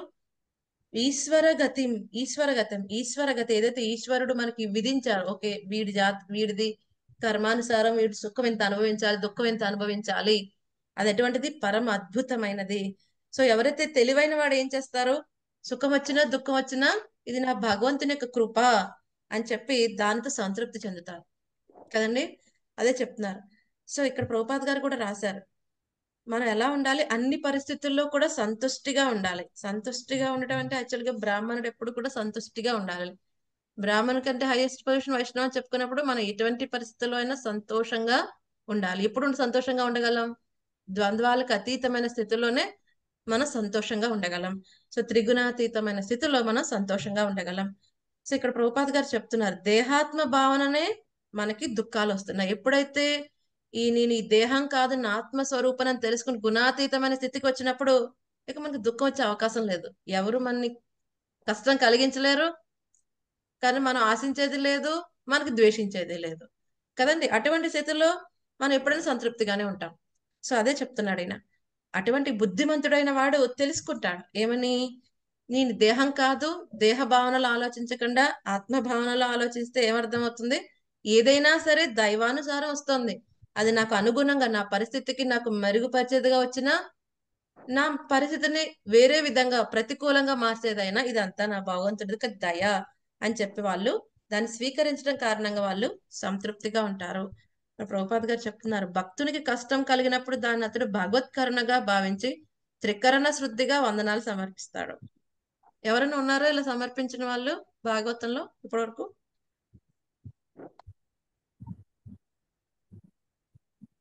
నారదముని మాతాజీ. నారదముని. మహారాణి ఉందిగా మాతాజీ. కుంతి మహారాణి ఇంకా అడుగుతున్నారు ఇంకా ఇవ్వండి ఇంకా ఇవ్వండి కష్టాలు ఇంకా ఇవ్వండి. మిమ్- మిమ్మల్ని దర్శించడం అవుతుంది. కష్టం ఉన్నప్పుడు మిమ్మల్ని దర్శించడం అవుతుంది. మిమ్మల్ని దర్శిస్తే ఈ- ఈ యొక్క పవర్ రోగాన్ని మళ్ళీ దర్శించక్కర్లేదు కాబట్టి ఇంకా ఇవ్వండి ఇంకా ఇవ్వండి కష్టాలు ఇవ్వండి. ఎందుకంటే భక్తులు ఏమనుకుంటారు? ఇది మంచి అవకాశం నా భగవంతుడికి పాద పద్మాలు గట్టిగా పట్టుకోవడానికి. కదండి? సో మనం కరెక్ట్గా ఆలోచిస్తే అర్థం అవుతుంది ఎప్పుడైనా బాధలో ఉన్నప్పుడు మనం చేసే ప్రార్థన చాలా సీరియస్గా ఉంటుంది. ఎప్పుడైతే మనకి చాలా కష్టాల్లో ఉన్నాం అప్పుడు హరే కృష్ణ మహామంత్రం ఎంత చక్కగా చేస్తామంటే అలా మామూలుగా మనం చెయ్యాలనే రాదేమో. ఎందుకంటే అంత నిస్సహాయ స్థితిలో మనం చేసినప్పుడు నిజంగా సర్వస శరణాగతి పొందుతాం. రైట్? సో మొన్న ఒక ఒక మాతాజీ షేర్ చేస్తున్నారు. యాక్చువల్గా ఎప్పుడైతే ఐ థింక్ ఆవిడ స్టేట్స్లోనే ఎక్కడో ఆవిడ ప్రచారం చేస్తున్నప్పుడు ఏమైందంటే ఎక్కడో సంథింగ్ దొండకులు అక్కడ అటాక్ చేస్తున్నారు. సో ఈవిడ ఏం చేసింది? పారిపోయి అందరూ పారిపోయారు. ఇది ఎవరైతే రామసంఖ్య చేస్తారో అందరూ పారిపోయారు. ఈవిడ కూడా ఒక చోటకి వెళ్ళి పారిపోయింది. అది ఒక టేబుల్ లాంటిది ఉందని టేబుల్ కింద ఆవిడ ఉంది జస్ట్ ఏదో కట్టెన్ ఏదో కవర్ అయిందో. జస్ట్ ఆవిడ వెనకాల ఉంది. బట్ ఆవిడకి డౌట్ ఏమైనా ఇక్కడ నేను ఉన్నాను ఫైండ్ అవుట్ చేస్తే నన్ను చంపేస్తారు. అప్పుడు అనుకోదట ఆవిడ సరే అయితే ఈ అలగో దొరికిపోతే ఎలాగో చంపేస్తారేమో. సరే అయితే జపమాల ఉంటది కదా మనకి ఎప్పుడు కూడా మెల్లో జపమాల ఉంటది. సరే అయితే జపమాల చేసేద్దాం లాస్ట్ రౌండ్ చేసేద్దాం. అని చేస్తుందట ఆవిడ చేస్తుంది చేస్తుంది చేస్తుంది. కాసేపటికి శబ్దాలన్నీ తొలగిపోయాయి. చూస్తే అసలు ఎవరూ లేరు సైలెంట్గా వచ్చిన వాళ్ళు అందరూ వెళ్ళిపోయారు. ఇవిడ అనుకుంది అనమాట ఫైనల్లీ ఆవిడ అనుకుంది అనమాట భగవంతుడు నన్ను సేవ్ చేసేసాడు. కానీ ఆవిడ ఒకటి రియలైజ్ అయిందంట ఆవిడ చెప్తుంది ఆ రోజు నేను జపం చేసినట్టు మళ్ళీ ఇప్పటి వరకు నేను ఎప్పుడు జపం చేయలేకపోతున్నాను. ఆ రోజు నేను ఎంత సిన్సియర్గా చేశానంటే ఇంతవరకు మళ్ళీ అలా చేద్దామని అవ్వట్లేదు కదండి. ఆ విధంగా భాగవ భక్తులు ఏం చేస్తారు? కష్ట సమయాలకి భాగవంతుడికి పాదబద్ధలు గట్టిగా పట్టుకుంటారు. ఎవరైతే భక్తులు అవ్వలేదు అవు అయ్యామని ఫీల్ అయ్యే వాళ్ళు ఏం చేస్తారు? సమస్య ఓ ఇన్నాళ్ళు ధూప ధూప నైవేద్యాలన్నీ తీసుకున్నాడు ఇప్పుడు నేను కష్టాలు పెట్టారు సరే అయితే బాయ్ బయటకు వచ్చేస్తారు. కానీ ఎవరైతే నిజంగా భక్తి చేస్తాం అనుకోవటమే కాదు చేస్తున్నారు వాళ్ళు ఏం చేస్తారు? భగవంతుని పాదపదానికి గట్టిగా పట్టుకుంటారు. ఎస్ ఈ సమయంలో ఇంకా గట్టిగా పట్టుకుంటారు చిన్నపిల్లలు ఏం చేస్తారు? బయట పిడుగులు అవన్నీ పడుతున్నప్పుడు తల్లి కొంచెం గట్టిగా పట్టుకుంటారు వచ్చి తల్లిని. కదండి? మామూలు అప్పుడు అక్కడక్కడక్కడ ఆడుతూ ఉంటాడు. తల్లి అక్కడ ఉంది కదా చూసుకుంటాడు. చిన్నపిల్లడు అమ్మి దరిదాపులు ఉంది లేదా చూసుకుంటాడు ఆడుకుంటూ ఉంటాడు. కానీ ఏదైనా అరుపులు గాని కుక్క అరుపులు గాని కదండి? ఏదైనా పిడుగులు శబ్దం వస్తే వెంటనే ఏం చేస్తాడు? గట్టిగా వచ్చి అమ్మని పట్టుకుంటాడు. కదండి? సో అలాగే భక్తులు కూడా అంతే. ఏం చేస్తారు? భగవంతునికి పాదపద్మాలు గట్టిగా పట్టుకుంటారు. కదండి? ఆ విధంగా వాళ్ళు ఎప్పుడు కూడా సంతోషంగానే ఉంటారు. రైట్. నా భగవంతుడు నాకు ఒక ఏదో మంచి చేస్తున్నాడు ఈయన అని వాళ్ళు నమ్ముతారు. సో ఈ విధంగా నారదమని ఇంకా చెప్తున్నారు. సరే అయితే నువ్వు మీ తల్లి గారు చెప్పినట్టు ఏదో చేసేద్దాం అనుకుంటున్నావు? అదేమన్నా అంత ఈజీనా? అడవికి వెళ్ళి తపస్సు చేసి విష్ణు యొక్క దర్శనం అంత ఈజీగా అయిపోతుంది అనుకుంటున్నావా? అదేం కాదయ్యా. అంత ఈజీగా ఏం జరగదు. చాలా కఠినమైనది ఈ పద్ధతి. ముప్పై ఒకటో శ్లోకంలో ఏం చెప్తున్నాడు ఆయన? చాలా మంది యోగులు ఏం చేస్తారు? పలు జన్మలు పలు జన్మల తర్వాత కూడా ఇంకా వాళ్ళు ఫైండ్ అవుట్ చేసుకోలేకపోతారు. ఫైనల్గా వాళ్ళకి సిద్ధించదు. భగవద్గీతలో కూడా వస్తుంది కదా బహునాం జన్మనామంతే జ్ఞానవాన్ మాం ప్రపద్యతే వాసుదేవ సర్వమితి సమహాత్మ సుదుర్లభ. ఎన్నో జన్మలకు గానీ వాళ్ళకి సిద్ధించదయా? సో అప్పుడే ఎందుకు? నువ్వు చిన్న పిల్లవాడివి. ఇప్పుడేం ప్రయత్నించద్దులే. ఏమవుతుంది? నిష్ఫలహ. నిష్ఫలం అయిపోతుంది. ఎత్తిషద్దు భవిష్యత్తులో మళ్ళీ అవకాశం వచ్చినప్పుడు చూద్దాం. చాలా చిన్న పిల్లవాడివి. ఇప్పుడు ఆటలు ఆడుకునే సమయం. భవిష్యత్తులో అవకాశం వచ్చినప్పుడు చూద్దాం. అంటే ఇక్కడ నారదముని ఏమన్నా తన్ని డిస్కరేజ్ చేసే ప్రయత్నం చేస్తున్నారా? లేదు. టెస్ట్ చేస్తున్నాడు ఆయన. అంటే ఏ మాత్రం అవకాశం ఉంటే మళ్ళీ వెనక్కి వెళ్ళిపోతాడమో తపస్సు ఆచరించకుండా అసలు ఏంటి? ఎంత దృఢంగా ఉన్నాడు ఈయన అని టెస్ట్ చేస్తున్నారు. సో ప్రభుపాద్ గారు ఇక్కడ ముప్పై శ్లోకం భాషలో కూడా చెప్పారు. ఆల్రెడీ భగవంతుడి యొక్క ఆదేశం ప్రకారమే నారదముని అక్కడికి వచ్చారు. ఎందుకని? ధ్రువ మహారాజుకు దీక్షితులు చేయాలని. కానీ ఆయన ఏం చేస్తున్నారు గురువు? టెస్ట్ చేస్తున్నారు మంత్రదేశ ఇచ్చే ముందు ఎంతలాగా వీడు క్వాలిఫైడ్ ఉన్నాడు? పారిపోతాడా? రేపొద్దున పులి గార్డెన్స్ గానే ఓమ్మో అని చెప్పి వెళ్ళి మళ్ళీ వాళ్ళ అమ్మ ఒళ్ళో పడతాడా? ఇక్కడే చేస్తాడా? అది టెస్ట్ చేస్తున్నాడు. ఎంత నిశ్చయంగా ఉన్నాడు ధ్రువుడు అని టెస్ట్ చేస్తున్నారు. సో ప్రభుపాద్ గారు ఇక్కడ రాశారు. నిశ్చయం లేని వారికి మరియు శ్రద్ధ రహితుని శ్రద్ధారహితునికి మాత్రం అది పరమ కఠినమైనది. యాక్చువల్గా భక్తి యోగం చాలా సులువు బట్ కానీ చాలా మంది కష్టంగా అనిపిస్తుంది. ఎందుకు సులువు? అంటే మరి జ్ఞాన యోగంతో అష్టాంగ యోగంతో పోల్చుకుంటే జ్ఞా ఈ యొక్క భక్తి యోగం చాలా సునాయాసంగా చేయాల్సింది చేయగలిగింది కూడా. రిజల్ట్స్ కూడా అంతే బాగా వస్తాయి. కానీ మరి ఎందుకు కఠినంగా అనిపిస్తుంది మనకి? శ్రద్ధ ఎందుకంటే పెట్టాం మాతాజీ భక్తి ఎందుకంటే యోగం మనకి మంగళ ఇప్పుడు ముప్పై నాలుగు మంది ఉన్నారు మంగళహారతికి పదమూడు మంది కూడా ఉన్నాం. ఎందుకని కష్టంగా అనిపిస్తుంది? భక్తి యోగం? బద్ధకం. ఓకే ఇంకా. ఎవరైనా ఆపేస్తున్నారా? మన చేయనివ్వకుండా చేతులు కాలు కట్టేస్తున్నారా? అంటే ఒకసారి లేట్ అయిపోతుంది మాతాజీ అందుకు వేయడం లేదు అసలు. ఓకే లేట్ అయిపోతుంది. ఓకే. ఒక్కొక్కసారి ఆరోగ్యం కొంచెం మాయ ప్రభావం ఉంటుంది. మాయా ప్రభావం ఉంటుంది? అలారం కట్టాక బాగా నిద్ర వస్తుంది ఎందుకో మరి కదండి? అలారం పెడతాం ఫోర్ ఓ క్లాక్కి బట్ అప్పుడు కట్టిన తర్వాత వచ్చే నిద్ర మళ్ళీ రాదు కదా. ఎందుకంటే అది కృష్ణుడికి దూరం చేసే నిద్ర కదండి. అది మనకి కృష్ణుడికి మధ్యలో వచ్చే నిద్ర కదా చాలా గాఢంగా ఉంటుంది. మాయాదేవి చక్కగా మంచి ఫార్ములా వేసి పంపిస్తుంది. అప్పుడు వచ్చే నిద్ర మళ్ళీ ఎప్పటికీ రాదు. కానీ అప్పుడు వచ్చే కృష్ణ ప్రేమ మళ్ళీ ఎప్పటికీ రాదు. మంగళహారతిలో మనం కృష్ణుడి నుంచి పొందే ప్రేమ మామూలు టైంలో కష్టం అది. మంగళహారతి అంటే ఆయన బెడ్రూమ్ దగ్గర వరకు వెళ్ళిపోతున్నాం మనం. బెడ్రూమ్ వరకు ఎవరు వెళ్ళగలరు? ఎవరైతే బాగా క్లోజ్ పర్సన్స్ బెడ్రూమ్ వరకు వెళ్ళగలరు లేకపోతే హాల్లో కూర్చొని మాట్లాడతారు అయితే గేట్ దగ్గర వాడే వెళ్ళిపోతారు. కదండి మంగళహారతి వరకు వచ్చేవాడే స్వామి ఎస్ నేను స్వామి ఒక్కవాడిని అని అనుకున్నవాడు. కాబట్టి లేజీగా ఉండకూడదు. కానీ మనకెందుకు కష్టంగా అనిపిస్తుంది? శ్రద్ధ లేదు. నిశ్చయం లేదు. ఓకే ఈ జన్మ కాకపోతే మళ్ళీ జన్మ. ఈవిడేదో ఇలా అంటుంది కానీ ఇంకా పదివేల సంవత్సరాలంట కలియుగం బ్రేక్ అంట. పదివేల సంవత్సరాలు ఇంకెన్ని జన్మలు తీసుకోవచ్చు? ఈ జన్మ కాదు మళ్ళీ ఇంకో జన్మ. అన్నారు కదా. ఏమీ నాశనం అవ్వదు. ఈసారి ten percent twenty percent thirty percent ఏదో ఒకసారి పాస్ అయిపోదాం. కదండి? అలా. కానీ నెక్స్ట్ జన్మలో మళ్ళీ మన గురు దొరకాలి. శాస్త్రం దొరకాలి. కదండి? శాస్త్రం దొరకాలి గురువు దొరకాలి సత్సంగం దొరకాలి. మానవ జన్మే దొరకాలి కదా మాతాజీ ముందు? అంటే మానవ జన్మ అట్లీస్ట్ వచ్చే అవకాశం ఉంటుంది. ఎందుకంటే భక్తి చేస్తున్నాం కాబట్టి గ్రేస్ మార్కులతో మళ్ళీ మానవ జన్మ ఏదో ఆ మూల ఈ మూల ఎక్కడో ఇస్తాడు అనుకోండి స్వామి. కానీ ఆ జన్మలో మళ్ళీ భక్తుల సాంగత్యం దొరకాలి? గురువు దొరకాలి. ఆ? శాస్త్రాల అవైలబిలిటీలో ఉండాలి. ఇప్పుడు కొన్ని ప్రదేశాల్లో బహిరంగంగా వాళ్ళు తిలక్ కూడా పెట్టుకొని తిరగలేరు.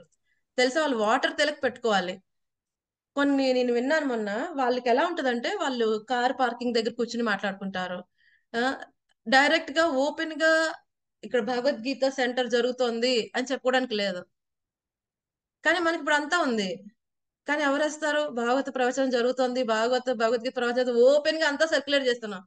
మీరు సర్క్యులేట్ చేసుకుంటే చేసుకోండి బట్ మీరు రావు అంటున్నారు. అక్కడైతే హిడెన్ హిడెన్గా దాస్మోకే ఈ రోజు భగవద్గీత ఉంటుందంట. వాళ్ళ ఇంట్లో సైలెంట్గా వచ్చేసాయి అంతే. అలాగ అలాగ ఇప్పుడు అక్కడ భక్తి చేసుకుంటున్నారు. ఆ?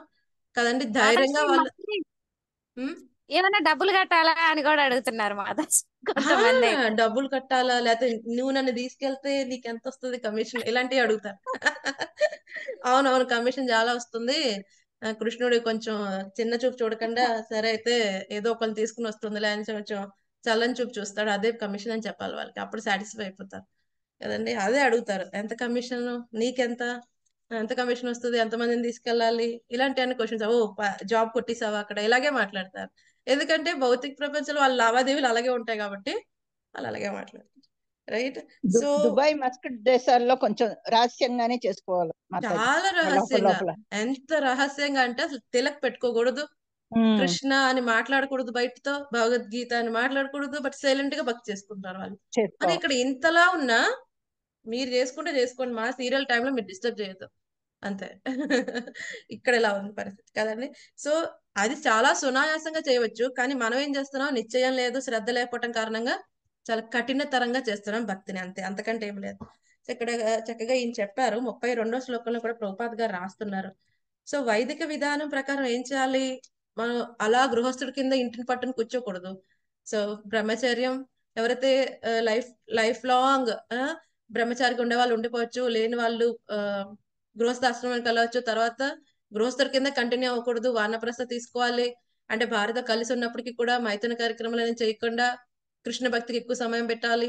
ఆ తర్వాత సన్యాస. అప్పుడు ఇంకా భార్యతో సంబంధం ఉండదు. భార్యని పిల్లల సంరక్షణలో ఉంచి ఆయన ఏం చేస్తాడు? హండ్రెడ్ పర్సెంట్ జీవితాన్ని భాగవతుడికి అంకితం చేసే ప్రయత్నం చేస్తారు. సో అలాగా ఇది జనరల్ ప్రాసెస్ కానీ ఇప్పుడు ఓకే నేను ముసలి అయ్యాకే భక్తి చేయాలని లేదు. కౌమార ఆచార్య ప్రాజ్ఞత కదండి? ప్రహ్లాద్ మహారాజ్ ఏం చెప్పారు? కౌమార నుంచి కూడా ఫైవ్ ఇయర్స్ నుంచి కూడా మన భక్తిని స్టార్ట్ చేయాలి డెఫినెట్గా ఎందుకంటే ఎప్పుడు మరణం వస్తుందో తెలియదు తొంభై ఏళ్ళ వరకు గ్యారంటీ ఉందా? లేనే లేదు. ఎప్పుడు టిక్కు ఉంటుందో తెలియదు మన ప్రాణం. కాబట్టి ఏం చేయాలి? ఉన్న సమయం ఎంత ఉంటే అంత మన ఇంద్రియాలు మనకు సహకరించినంత వరకు కూడా ఈ అకౌంట్లో ఈ భక్తి అనే శాశ్వతమైన అకౌంట్లో ఎంత వేయగలిగితే అంత వేయాలి. దీన్ని ఎవరు డ్రా చేసుకోలేరు. దీనికి ఓన్లీ భగవంతుడితో ఉంటది. మనకి ఎప్పుడు మన ఎలాగ ఉద్ధరించాలో ఆయన అందులో నుంచి తీసి మన ఉద్ధరిస్తాడు. కాబట్టి చాలా జాగ్రత్తగా మనం ఇచ్చిన అవకాశాన్ని శ్రద్ధగా ఉపయోగించుకోవాలి.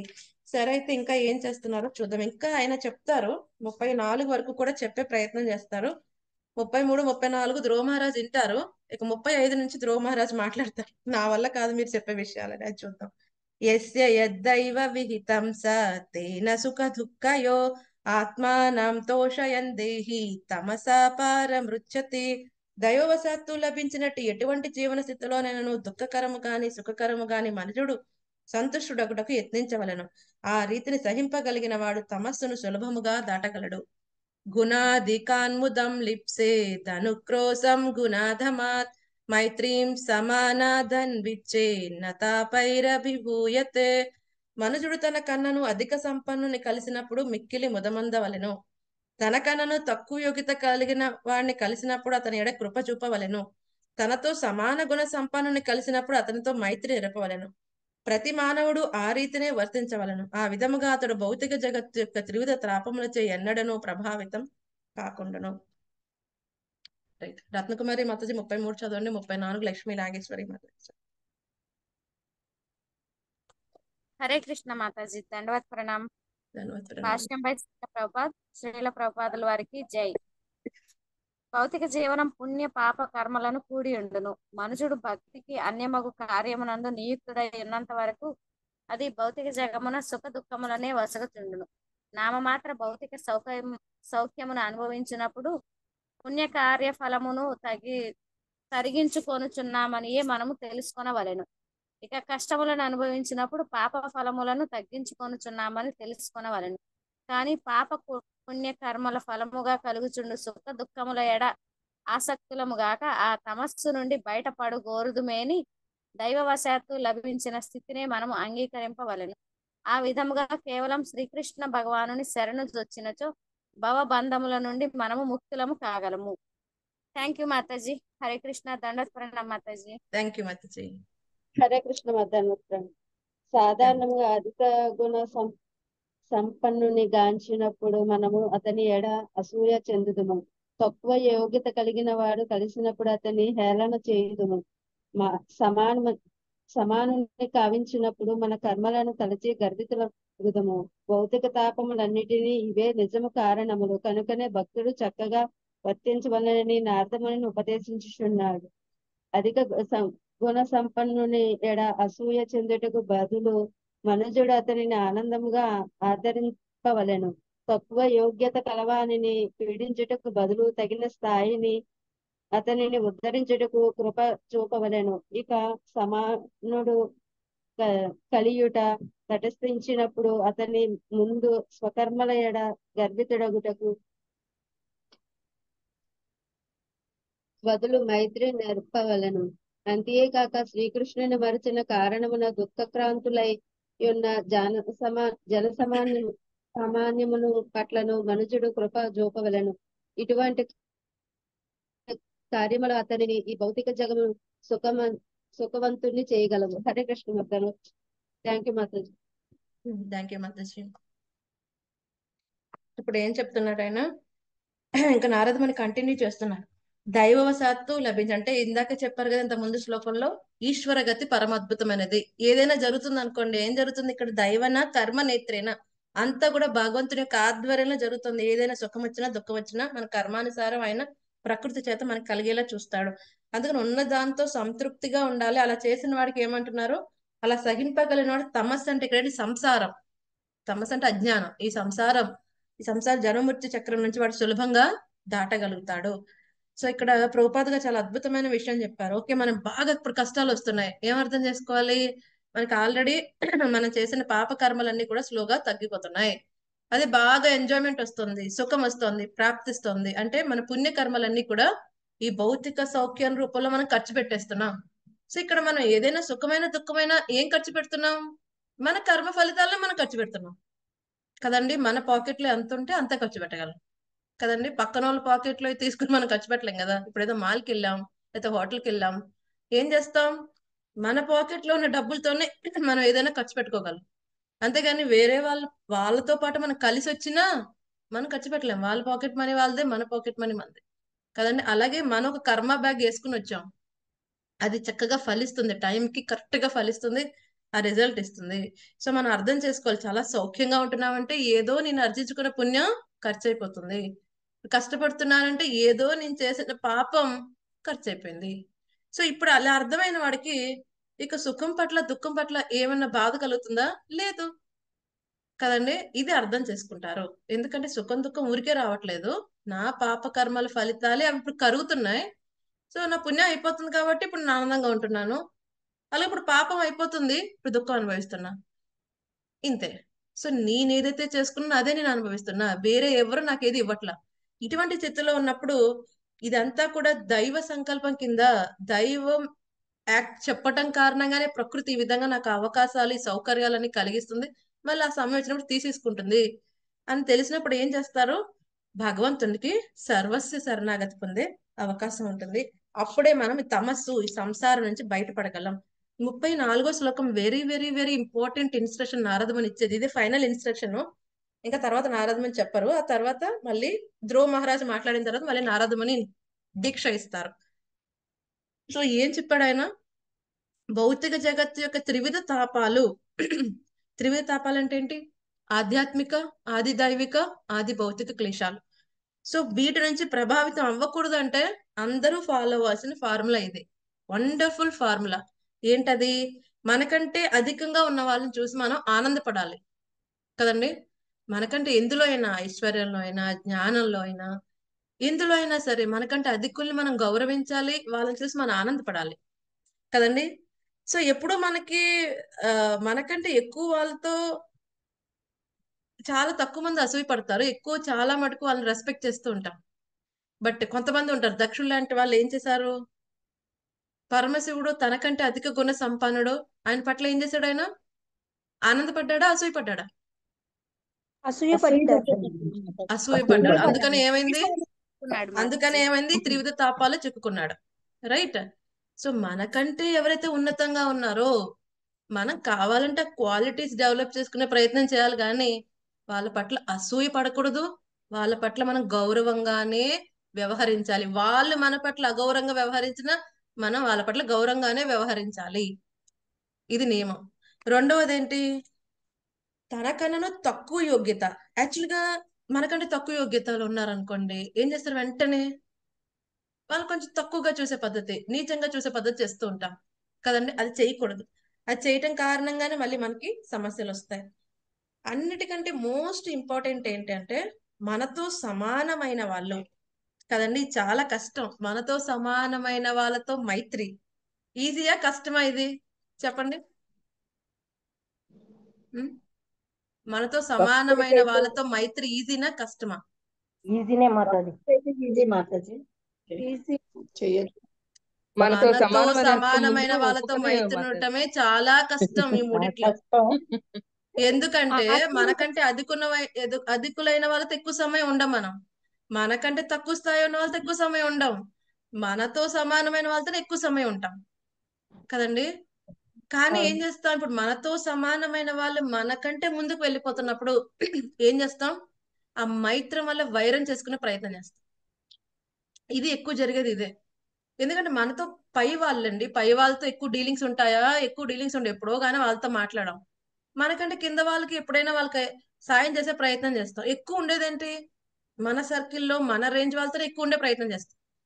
ఎప్పటి వరకు బాగానే ఉంటుంది? అంత మనతో పాటు వాడు కూర్చున్నంత సేపు బాగానే ఉంటుంది. పొరపాటున వాడు మనకంటే ఒక ముందు అడిగి వేసిన ఏమవుతుంది? మైత్రి వల్ల వైరం అయిపోతుంది ఇది చాలా జాగ్రత్తగా ఉండాలి. మరి ఏం చేయాలి? మైత్రి వైరం అవ్వకూడదంటే చెప్పండి. ఇప్పుడు మీరే ముప్పై నాలుగు మంది ఉన్నారు. సో ఓకే అందరూ ఒకేసారి భక్తి వృషాలు దాంట్లో జాయిన్ అయ్యారు. ఒకళ్ళు ముందుకు వెళ్ళిపోతున్నారు. ఒకళ్ళు వెళ్ళలేకపోతున్నారు. బట్ అందరూ సమాన స్థాయిలో ఉన్న వాళ్ళమే. బట్ ఇప్పుడు ఒకళ్ళు ముందుకు వెళ్ళే ప్రయత్నం చేస్తున్నారు. సో వాళ్ళ పట్ల మనం ఎలా వ్యవహరించాలి? సంతోషంగా ఉండాలా అసూయ చెందకూడదు. ఓకే ఇంకా? వాళ్ళ నుండి ఇంకా ఇన్స్ట్రక్షన్స్ తీసుకోవాలి మాతాజీ. మేము ముందుకు ఎలా రావాలి అని. రైట్ ఇంకా? వాళ్ళ నుంచి నేర్చుకోవాలి మనం కూడా మాతాజీ. ముందుకు వెళ్ళడానికి ప్రయత్నించాలి. మనం కూడా ముందుకు వెళ్ళడానికి ప్రయత్నించాలి. వండర్ఫుల్ ఇంకా? ఉండాలి మాతాజీ? స్నేహంగా ఉండాలి మాతాజీ? స్నేహంగా ఉండి ఒకళ్ళని మాతాజీ ఎప్పుడు కూడా సహకారంగా ఉండాలి. ఒకళ్ళు ఉన్నతి ఒకళ్ళు కోరుకోవాలి. సమాన స్థాయిలో ఉన్నప్పుడు ఒకళ్ళు ఉన్నతి ఒకళ్ళు కోరుకోవాలి. కదండి? అప్పుడే మైత్రి అనేది నిలబడుతుంది. ఒకళ్ళు ఉన్నతి ఒకళ్ళు కోరుకున్నంతసేపు బాగుంటుంది. ఒకళ్ళ ఉన్నతి ఒకళ్ళు కోరుకోవట్లేదు అంటే అక్కడ ఏంటి? స్లోగా అసూయ అనే బీజం పడిపోయింది. అంతే. అసూయ అనే బీజం పడిపోయినప్పుడు ఆ మైత్రి వైరం కింద మారటం నిమిషంలో పని. కదండి? ఈ మూడిట్లో మనతో సమానమైన వాళ్ళతో మైత్రి చేయటం అనేది చాలా చాలా కష్టమైన విషయం. అది చాలా జాగ్రత్తగా చేసి యాక్చువల్గా మనకు అనిపించవచ్చు బట్ భక్తి జీవితంలో కూడా మనతో సమానమైన వాళ్ళతో మైత్రి చేయటం చాలా కష్టంగా ఉంటుంది. ఎందుకంటే ఓ ఎందుకంటే మనకి భౌతిక ప్రపంచంలో మన మెంటాలిటీ ఇక్కడ కూడా క్యారీ చేస్తాం. భౌతిక ప్రపంచంలో ఎలా ఇంతకు ముందు వ్యవహరించే వాళ్ళమో అటువంటి విధంగానే భక్తుల మధ్యన కూడా వ్యవహరించే ప్రయత్నం చేస్తాం. కదండి? అలా చేసినప్పుడు ఏమవుతుంది? మళ్ళీ వైష్ణవ అపరాధం అవుతుంది. అందుకని చాలా కేర్ఫుల్గా ఉండాలి. ఈ మూడు చిన్న ఇన్స్ట్రక్షన్స్ అయినప్పటికి కూడా చాలా పెద్ద మీనింగ్ ఉంది. అందుకని నారదమని చెప్పారు ఈ మూడు నువ్వు పాటిస్తే ఏముంటాయి? భౌతిక జగత్తు యొక్క త్రివిధ తాపాలు నిన్ను ప్రభావితం చెయ్యలేవు సో మనకంటే పెద్ద ఆయన వచ్చారు. అన్ని ఏజ్ లోను జ్ఞానంలోనూ ఉన్నారు. ఆయనతో మనం అసూయ పడకూడదు. ఓ ఈయన రాగానే అందరు నుంచున్నారు. ధనువత్ ప్రణం పెట్టి నేను వచ్చినప్పుడు ఒక్కడి నుంచో లేదబ్బా. కదండి? ఎందుకు ఆయన పట్ల మనం అసూయ పడాలి? ఓ ఇంత ఉత్తమమైన ఆయనతో నాకు ఈరోజు సాంగత్యం దొరికింది. అని ఆయనకు నమస్కారం సమర్పించుకుని ఆయన దీవెనలు తీసుకుంటే చాలా అద్భుతంగా ఉంటుంది. ఆ రోజు బాగుంటుంది. ఎటువంటి అపరాధం లేకుండా గడుస్తుంది. కదండి? అలాగే తోటి మనలాంటి మనతో పాటే ఉన్న వాళ్ళు ఇప్పుడు ఏదో కొంచెం ఏదో ఎక్స్ట్రా సర్వీసెస్ చేస్తున్నారు. ఓ నేనైతే ఇంకా బాగా చేసేదాన్ని. అని ఎప్పుడైతే మనం ఎందుకు అంటాం ఇట్లాగా? నేనైతే ఇంకా ఎప్పుడు బాగా చేస్తాను ఆ అసూయ వచ్చేసింది ఆ సర్వీస్ నేనైతే ఇంకా బాగా చేస్తాను తెలుసా? అనవసరంగా వాళ్ళకి ఇచ్చేసాను ఎందుకలంట? అసూయ వచ్చేసింది. తెలియకుండా అసూయ వచ్చింది. మొన్నటి వరకు ఫ్రెండే కానీ ఈరోజు అసూయ వచ్చింది. కదండి? అలాంటి మనం తీసేయాలి. ఇంకోటి ఏంటి? తక్కువ వాళ్ళని చులకనగా మనం చూడకూడదు. కదండి? వాళ్ళ పట్ల మనం ఏమని చెప్పారు? కృప చూపాలి. ఎందుకంటే ఇప్పుడు కృప చూపడం అంటే ఇప్పుడు ఎవరికైతే ఇంకా భగవత్ చైతన్యంలోకి రాలేదు వాళ్ళ పట్ల ఏం చూపించాలి? కృప చూపించాలి. వాళ్ళకి కూడా భక్తి జీవితంలోకి రావడానికి సరైన అవకాశాన్ని మనం వాళ్ళకి కల్పించాలి. ఈ విధంగా మనం మనకంటే చిన్న వాళ్ళని తక్కువగా చూడకుండా ఓ వీళ్ళు ఇంకా భక్తి చేయలేదు ఇంకా టీ తాగుతున్నాడంట. ఓహో అది ఎందుకలా చూడాలి? ఒకప్పుడు నువ్వు తాగి వచ్చిన వాడివి కదా కదండి? ఏమో వాళ్ళకి ఇంకా టైం పడుతుంది కదండి వాళ్ళ కోసం కావాలంటే ప్రార్థించాలి. వాళ్ళకి ఇంకా ఏమైనా నువ్వు ఇన్స్ట్రక్షన్స్ ఇవ్వగలిగితే సాయం చేయగలిగితే అందులోంచి బయటికి ఎలా రాగలిగితే ఇవ్వాలి. కదండి? కానీ వాళ్ళని హేళన చేయకూడదు. హేళన చేయకూడదు. ఓ నేను ఆల్రెడీ సిక్స్టీన్ రౌండ్స్ తీసేసుకున్నానండి. వీళ్ళు ఇంకా నాలుగు రౌండ్లే కదా చాలా వేస్ట్ అసలు. ఇలాంటివి మాట్లాడిస్తూ ఉంటారు సడన్గా ఏమవుతుంది? వేరే వాళ్ళని హేళన చేసే ప్రయత్నం చేస్తూ ఉంటారు. ఎవరి ఓన్ స్పీడ్లో వాళ్ళు వెళ్తారు. భక్తిలో గాని మెటీరియల్గా గాని భౌతికంగా గాని ఆధ్యాత్మికంగా గాని ఎవరి ఓన్ స్పీడ్లో వాళ్ళు వెళ్తారు. వాళ్ళు వెళ్ళనివ్వాలి కదండి. అంతేగాని హేళన చేయకూడదు. సాయం చేయగలిగితే చేయాలి. కాబట్టి మనకంటే పెద్దవాళ్ళని ఎప్పుడు కూడా మనం అసూయ పడకూడదు. ఒకవేళ వాళ్ళని వాళ్ళు ఏదైనా మన ఒక మాట అన్నా మనం తిరిగి వాళ్ళు అనకూడదు. కదండి? అది మన మంచి కోసమే అంటారు. మనకంటే పెద్దవాళ్ళు ఒక మాట అంటే ఏముందండి? మనకంటే పెద్దవాళ్ళు ఒక మాట పట్టలో తప్పలేదు. కదండి? కానీ వాళ్ళకి మనం అమర్యాదగా మనం ఎప్పుడు కూడా చూడకూడదు. వాళ్ళ పట్ల ఎప్పుడు అసూయ పడకూడదు. మనతో సమానమైన వాళ్ళతో ఎప్పుడు కూడా ఈర్ష్య భావాన్ని తెచ్చుకోకుండా మైత్రితో ఉండాలి. ఓ ఇంత బాగా గ్లోరిఫై ఎంత బాగా చేస్తున్నావు అసలు ఇంత ఇన్స్పిరేషన్ నీకు ఎలా వస్తుంది? నాకు కొన్ని సీక్రెట్ షేర్ చేయబోయి అలా మాట్లాడాలి వాళ్ళతో. అంతే. బయటికి కాదు లోపల కూడా అదే భావంతో ఉండాలి అప్పుడు ద్వేషం ఉండదు. రైట్? మనకంటే తక్కువ వాళ్ళు. సరే అయితే పాపం వీళ్ళకి నేను ఏ విధంగా సహాయపడగలను? కదండి? వాళ్ళకి ఏదైనా మనం సహాయపడగలిగితే వాళ్ళని సహాయపడాలి అన్ని విధాల. ఇది నారద ముని ఇచ్చిన ఇన్స్ట్రక్షన్ ఇక్కడ పర్టికులర్గా ధ్రువ మహారాజ్కి ఏం చెప్తున్నారు? ఒకవేళ ఇప్పుడు నీ యొక్క తమ్ముడికి ఉత్తముడికి రాజ్యం వచ్చిందే అనుకో. నీ తల్లిగారు ఏమన్నారు? ఉత్తముడే క్వాలిఫైడ్ అంటున్నారు. కానీ నీకు చెందాల్సింది పోనీ మీ తల్లిగారు చెప్పి మీ పిన్న తల్లి చెప్పినట్టు ఉత్తముడికే వస్తే రాని తన కర్మానుసారం వస్తుంది. నీకు అవమానం నీ కర్మానుసారం వచ్చింది తనకి తన కర్మానుసారం వచ్చింది అనుకో. అలాగే నీకంటే ఉన్నతమైన పొజిషన్లో ఉన్నాడు అనుకో నీ తమ్ముడు నువ్వు తన పట్ల అసూయ పడకూడదు అని చెప్పే ప్రయత్నం చేస్తున్నాడు ఆయన నారదముని అంటే ఈ యొక్క అవమానాన్ని విడిచిపెట్టవయ్యా కర్మానుసారంగానే సుఖదుఖం వస్తుంది. సో ఎప్పుడైతే నువ్వు ఈ మూడు పట్టుకించుకుంటావో అప్పుడు నీకు త్రివిధ తాపాలు ఇప్పుడు నువ్వు చాలా బాధపడుతున్నావు. ఎందుకును? ఈ త్రివిధ తాపాల కారణంగానే కదా ఆధ్యాత్మిక ఆదిదైవిక ఆది భౌతిక ఈ క్లేశాల్లో ఒకటే కదా. వేరే వాళ్ళ ద్వారా మనం హింస పడటం అనేది కూడా. సో అందుకనే నువ్వు ఈ ఫార్ములా ఫాలో అవ్వు. ఇవన్నీ విడిచిపెట్టు. ఇంటికి వెళ్ళిపో అని చెప్తున్నారు. సో దీన్ని విని ధ్రువ మహారాజ్ ఏం చెప్తున్నారో రేపు చూద్దాం. సో ధ్రువ మహారాజు ముప్పై ఐదు నుంచి ముప్పై ఎనిమిది శ్లోకాల్లో చెప్తారు. అప్పుడు ఫైనల్గా ఆయన చెప్పిన ఆన్సర్కి నారదముని చాలా సంతోషపడి ఆయన దృఢ సంకల్పానికి ఆయన మెచ్చి అప్పుడు ఆయన కరెక్ట్గా ఇన్స్ట్రక్షన్ చేస్తారు ఇప్పుడు. నువ్వేం చేయాలి? ఓ ధ్రువ ఆ? ధ్రువుడు ఏం చేయాలి? ఏ విధంగా తపస్సు ఆచరించాలి? అవన్నీ ఇన్స్ట్రక్షన్స్ ఇస్తారు. అవి రేపు తెలుసుకుందాం. ఏమైనా సందేహాలు ఉన్నాయండి ఈ రోజు సెషన్ వరకు రామ హరే కృష్ణ మాతాజీ. హరే కృష్ణ. ఈ రోజు గురించి కాదు మాతాజీ. దక్షయజ్ఞం విన్న తర్వాత నుండి ఎవరినైనా ఎవరు ఏమన్నా అనాలంటే వాళ్ళలో ఉండే పరమాత్మ అంటున్నామేమో. మళ్ళీ ఎదుటి వాళ్ళు ఏమన్నా అన్నా కూడా రియాక్ట్ అవ్వకుండా ఉండగలగాలి. ఆ శక్తి నీవు భగవంతుడా అని మనలో అదే పనిగా నాకు కూడా అట్లాగే అనిపిస్తుంది. వెరీ నైస్ వెరీ నైస్ అందుకే మనం శాస్త్రం చదవాలి? శ్రద్ధగా శాస్త్రం చదివిన వారికి ఇటువంటి భయం అనేది జాగ్రత్త అనేది వస్తుంది. ఒక విధమైన భయం అనే చెప్పాలి మాతాజీ అది. భయమే అవును. భయమే మాతాజీ. అది ఏమి ఆ మాత్రం భయం ఉండాలి. మన డీలింగ్స్లో జాగ్రత్త వస్తుంది అప్పుడే. కదండి? డీలింగ్స్లో జాగ్రత్త మాతాజీ ఆ ఒక మాతాజీ ఇలా స్టేట్స్లో జరుగుతున్నప్పుడు ఆ. హరే కృష్ణ మహామంత్ర జపం లాస్ట్ టైం చేద్దాము అని ఆ లాస్ట్ టైం చేసింది ఆ- టైంలో ఆవిడకి అది గుర్తు రావడం కూడా భగవంతుడి కరుణ అనే అనుకోవాలి మాతాజీ. అందుకనే కదా డివోటీస్ ఏం చేస్తాం? మెల్లో వేసుకుంటాం అది ఇంకెక్కడ మర్చిపోతాం. మన మెల్లో ఒక బాడీలో పార్ట్ అది. కదండి? సో అందుకనే డివోటీస్ సిక్స్టీన్ రౌండ్స్ అయిపోతే బ్యాగ్లో పెట్టుకోరు. మెల్ల వేసుకుంటారు. ఎప్పుడు టైం దొరికితే అప్పుడు మళ్ళీ మళ్ళీ చేసేస్తారు అందుకని అది ఎప్పుడు మనతోనే ఉండాలి మాతాజీ డాక్టర్లు కూడా మీకు డైట్ చెప్పిన అవసరం లేదు. మీరు ఇస్మాన్ భక్తులు కదా అంటున్నారు మాతాజీ. వాళ్ళకి ఎంత నమ్మకం? మనం కరెక్ట్గా రూల్స్ అండ్ రెగ్యులేషన్స్ పాటిస్తామని చూడండి. వాళ్ళందరికీ నమ్మకం ఉంది. సో పాటించాలి అంత శ్రద్ధగా.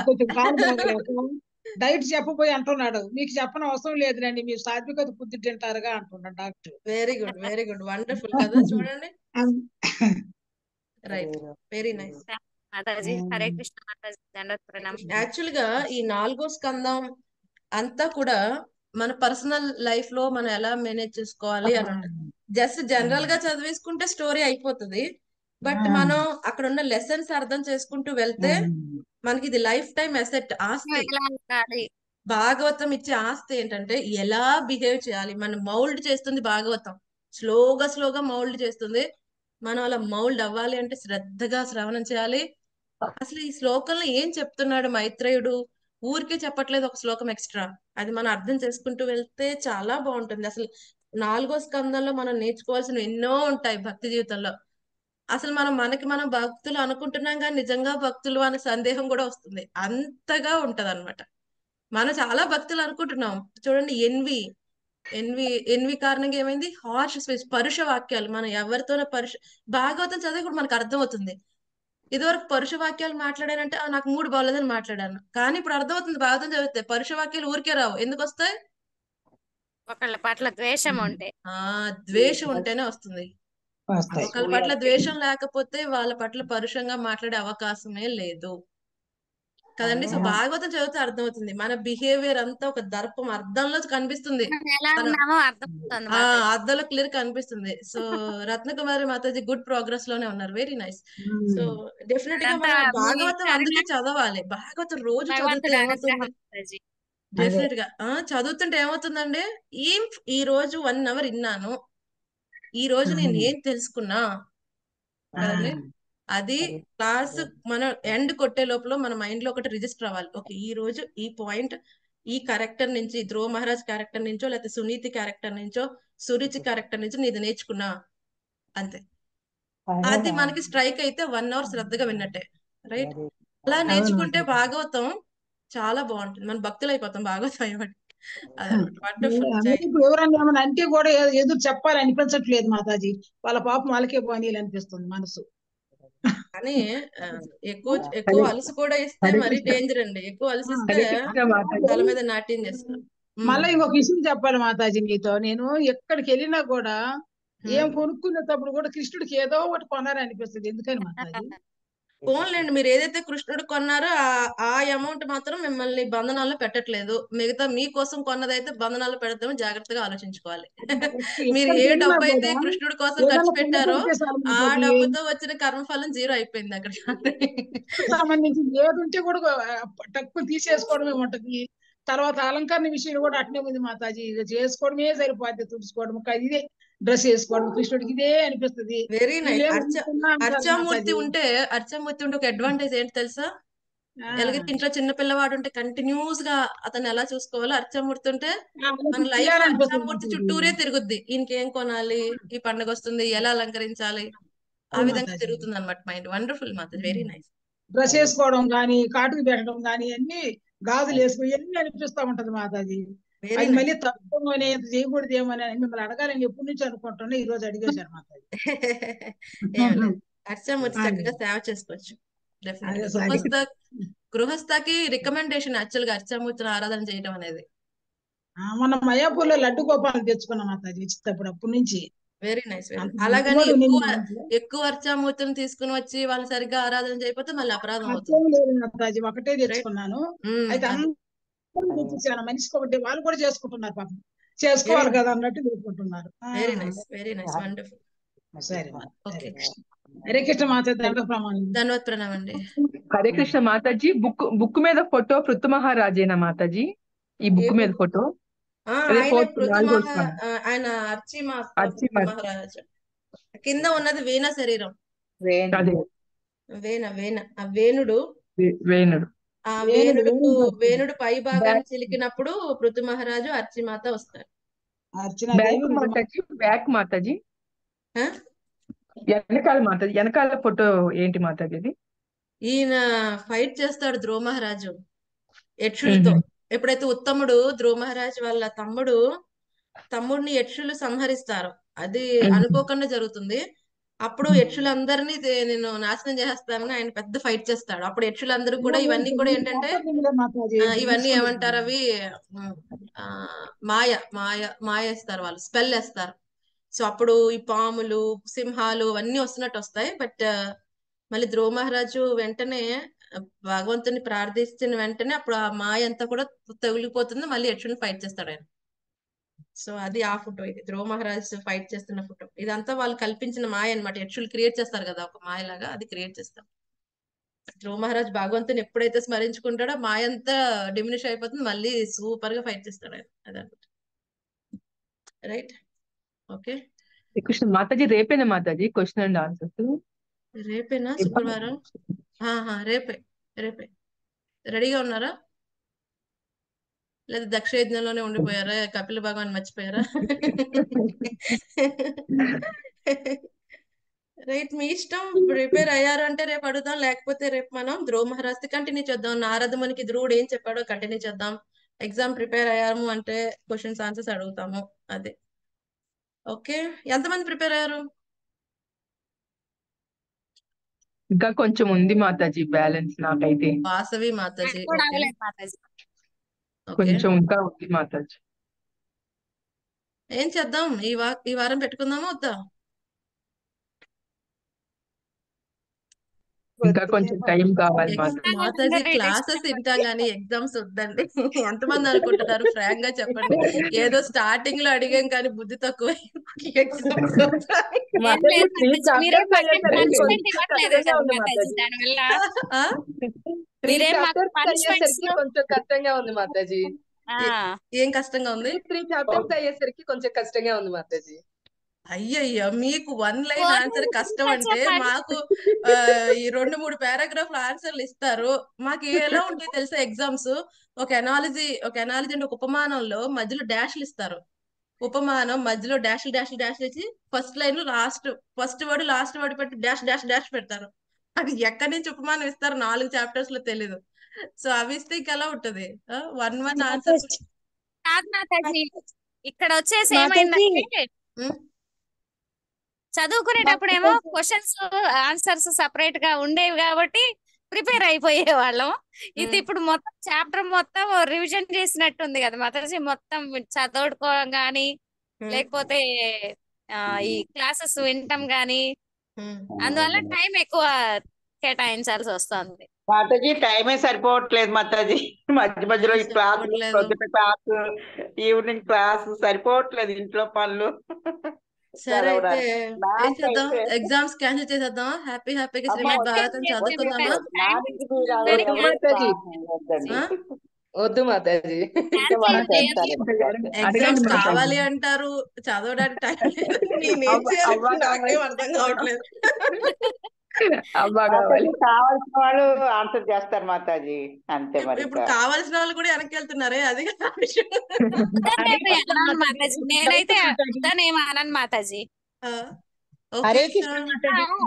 మాతాజీ. మీరు అన్నారు కదా మాకు ఇలా డాష్ డాష్ ఇస్తారని. అప్పుడు మీరు ఎట్లా రాస్తారు? ఎన్నో ఉంటాయి కదా అలా ఎగ్జాంపుల్స్ ఏవో. అందుకనే రాత్రి రెండింటి వరకు చదివి మళ్ళీ తెల్లారి నాలుగింటికి లేచి మళ్ళీ చదివి ఎగ్జామ్ ముందు వరకు చదివి ఏడుస్తూ ఏడుస్తూ చదివి లాస్ట్కి ఏదో రాసి ఫైనల్గా పాస్ అయ్యి వస్తున్నాం. అది. అలా చదివినా కూడా అది ఇదే అడిగారని ఎలా అనుకుంటారు? ఎన్నో ఉన్నప్పుడు చాలా ఉన్నప్పుడు. అంతలా చదవాలండి మేము. చదవకపోతే పాస్ అవ్వం అక్కడ. వాళ్ళకి ఆ గురువు గారే ఇస్తారండి ఆ శక్తిని చదవాల్సిందే. మరి అలా చదువుతూనే ఉండాలి. చదువుతూనే ఉంటేనే అవుతుంది చదువుతూనే ఉండాలి. రాయాలి అంటే చదువుతూనే ఉండాలి. అదనమాట మీకు ఇంకా ఓపెన్ బుక్ మీకు మీరు ఓపెన్ చేసుకున్నారో పుస్తకం కూడా నాకు తెలీదు. మీరు ఆల్రెడీ పాయింట్స్ వేసుకుని ఓపెన్ ఓపెన్లో చూసి చెప్తున్నా నాకేం తెలీదు. మాకంతా క్లోజ్డ్ బుక్. ఓపెన్ బుక్ ఏ ఉండదు. రైట్? మళ్ళీ మాకు ఇన్విజిలేటర్ ఉంటారు మాకు ఒక ఇన్విజిలేటర్ ఉంటారు మళ్ళీ మా స్క్రీన్ కూడా కంట్రోల్ చేస్తారు వాళ్ళు. మా స్క్రీన్ అంటే మీ స్క్రీన్ తిప్పేదని రాసేస్తామని రైట్? సో చాలా పగడ్బందీగా ఎగ్జామ్ ఉంటుంది మాకు. సో మీ ఇష్టం. అండి ఇంకో ఇంకో ఇంకో టూ డేస్ ఇవ్వండి మాతాజీ. ఎట్లాగో మీరు చూసి టైం. ఓకే సో అందరికి కావాలా టూ డేస్? ఆ, ఇవ్వండి మాతాజీ. అయితే ట్వంటీ ఎయిత్ ఓకే? రేపు. ఓకే నెక్స్ట్ మళ్ళీ శుక్రవారం? మళ్ళీ శుక్రవారం. లేకపోతే సోమవారానికి ఓకేనా? ఆ ఓకే సోమవారం అయినా కూడా ఓకే మాతాజీ. ఓకే టూ డేస్లో ఏం గడిచిపోద్దండి మీకు? చేసుకుంటాం మాతాజీ. కొంతమంది అంటారు కదా అన్నం ఎక్కువ పెట్టేసావంటారు. తీయమంటే ఒక్క ముద్దకి ఇస్తారు ఆప్షన్. ఇంత తీయమంటే. మా ఇంట్లో అదే పరిస్థితే మాతాజీ మా ప్రభుతో తీయమన్నా ఒక ముద్దే పెట్టమన్నా ఒక ముద్దే. ఎక్కువ అయ్యేది వాళ్ళకి ఇంతే. మొత్తం అంత ఉంచుకుంటారు ఇంత తీసేమంటారు అలా ఉంది పరిస్థితి మీది. ఓకే సరే అయితే ఇరవై ఒకటికి ఇరవై నాలుగు పెద్ద తేడా ఏం లేదు. ఇరవై నాలుగు చేసుకుందాం అయితే okay? Okay okay mataji thank you. జై. Thank you devotees. రేపు కలుద్దామండి. हरे कृष्णा हरे कृष्णा कृष्णा कृष्णा हरे हरे हरे राम हरे राम राम राम हरे हरे चंद्रा श्रीमद भागवतम की जय। ध्रुव महाराज की जय। नारद मुनि की जय। श्रील प्रभुपाद की गुरु महाराज जय पताका स्वामी महाराज की जय। पिताय गौर प्रेमानंदे Hari Hari. Thank you Hare Krishna Hare Krishna. माता जी हरे कृष्ण।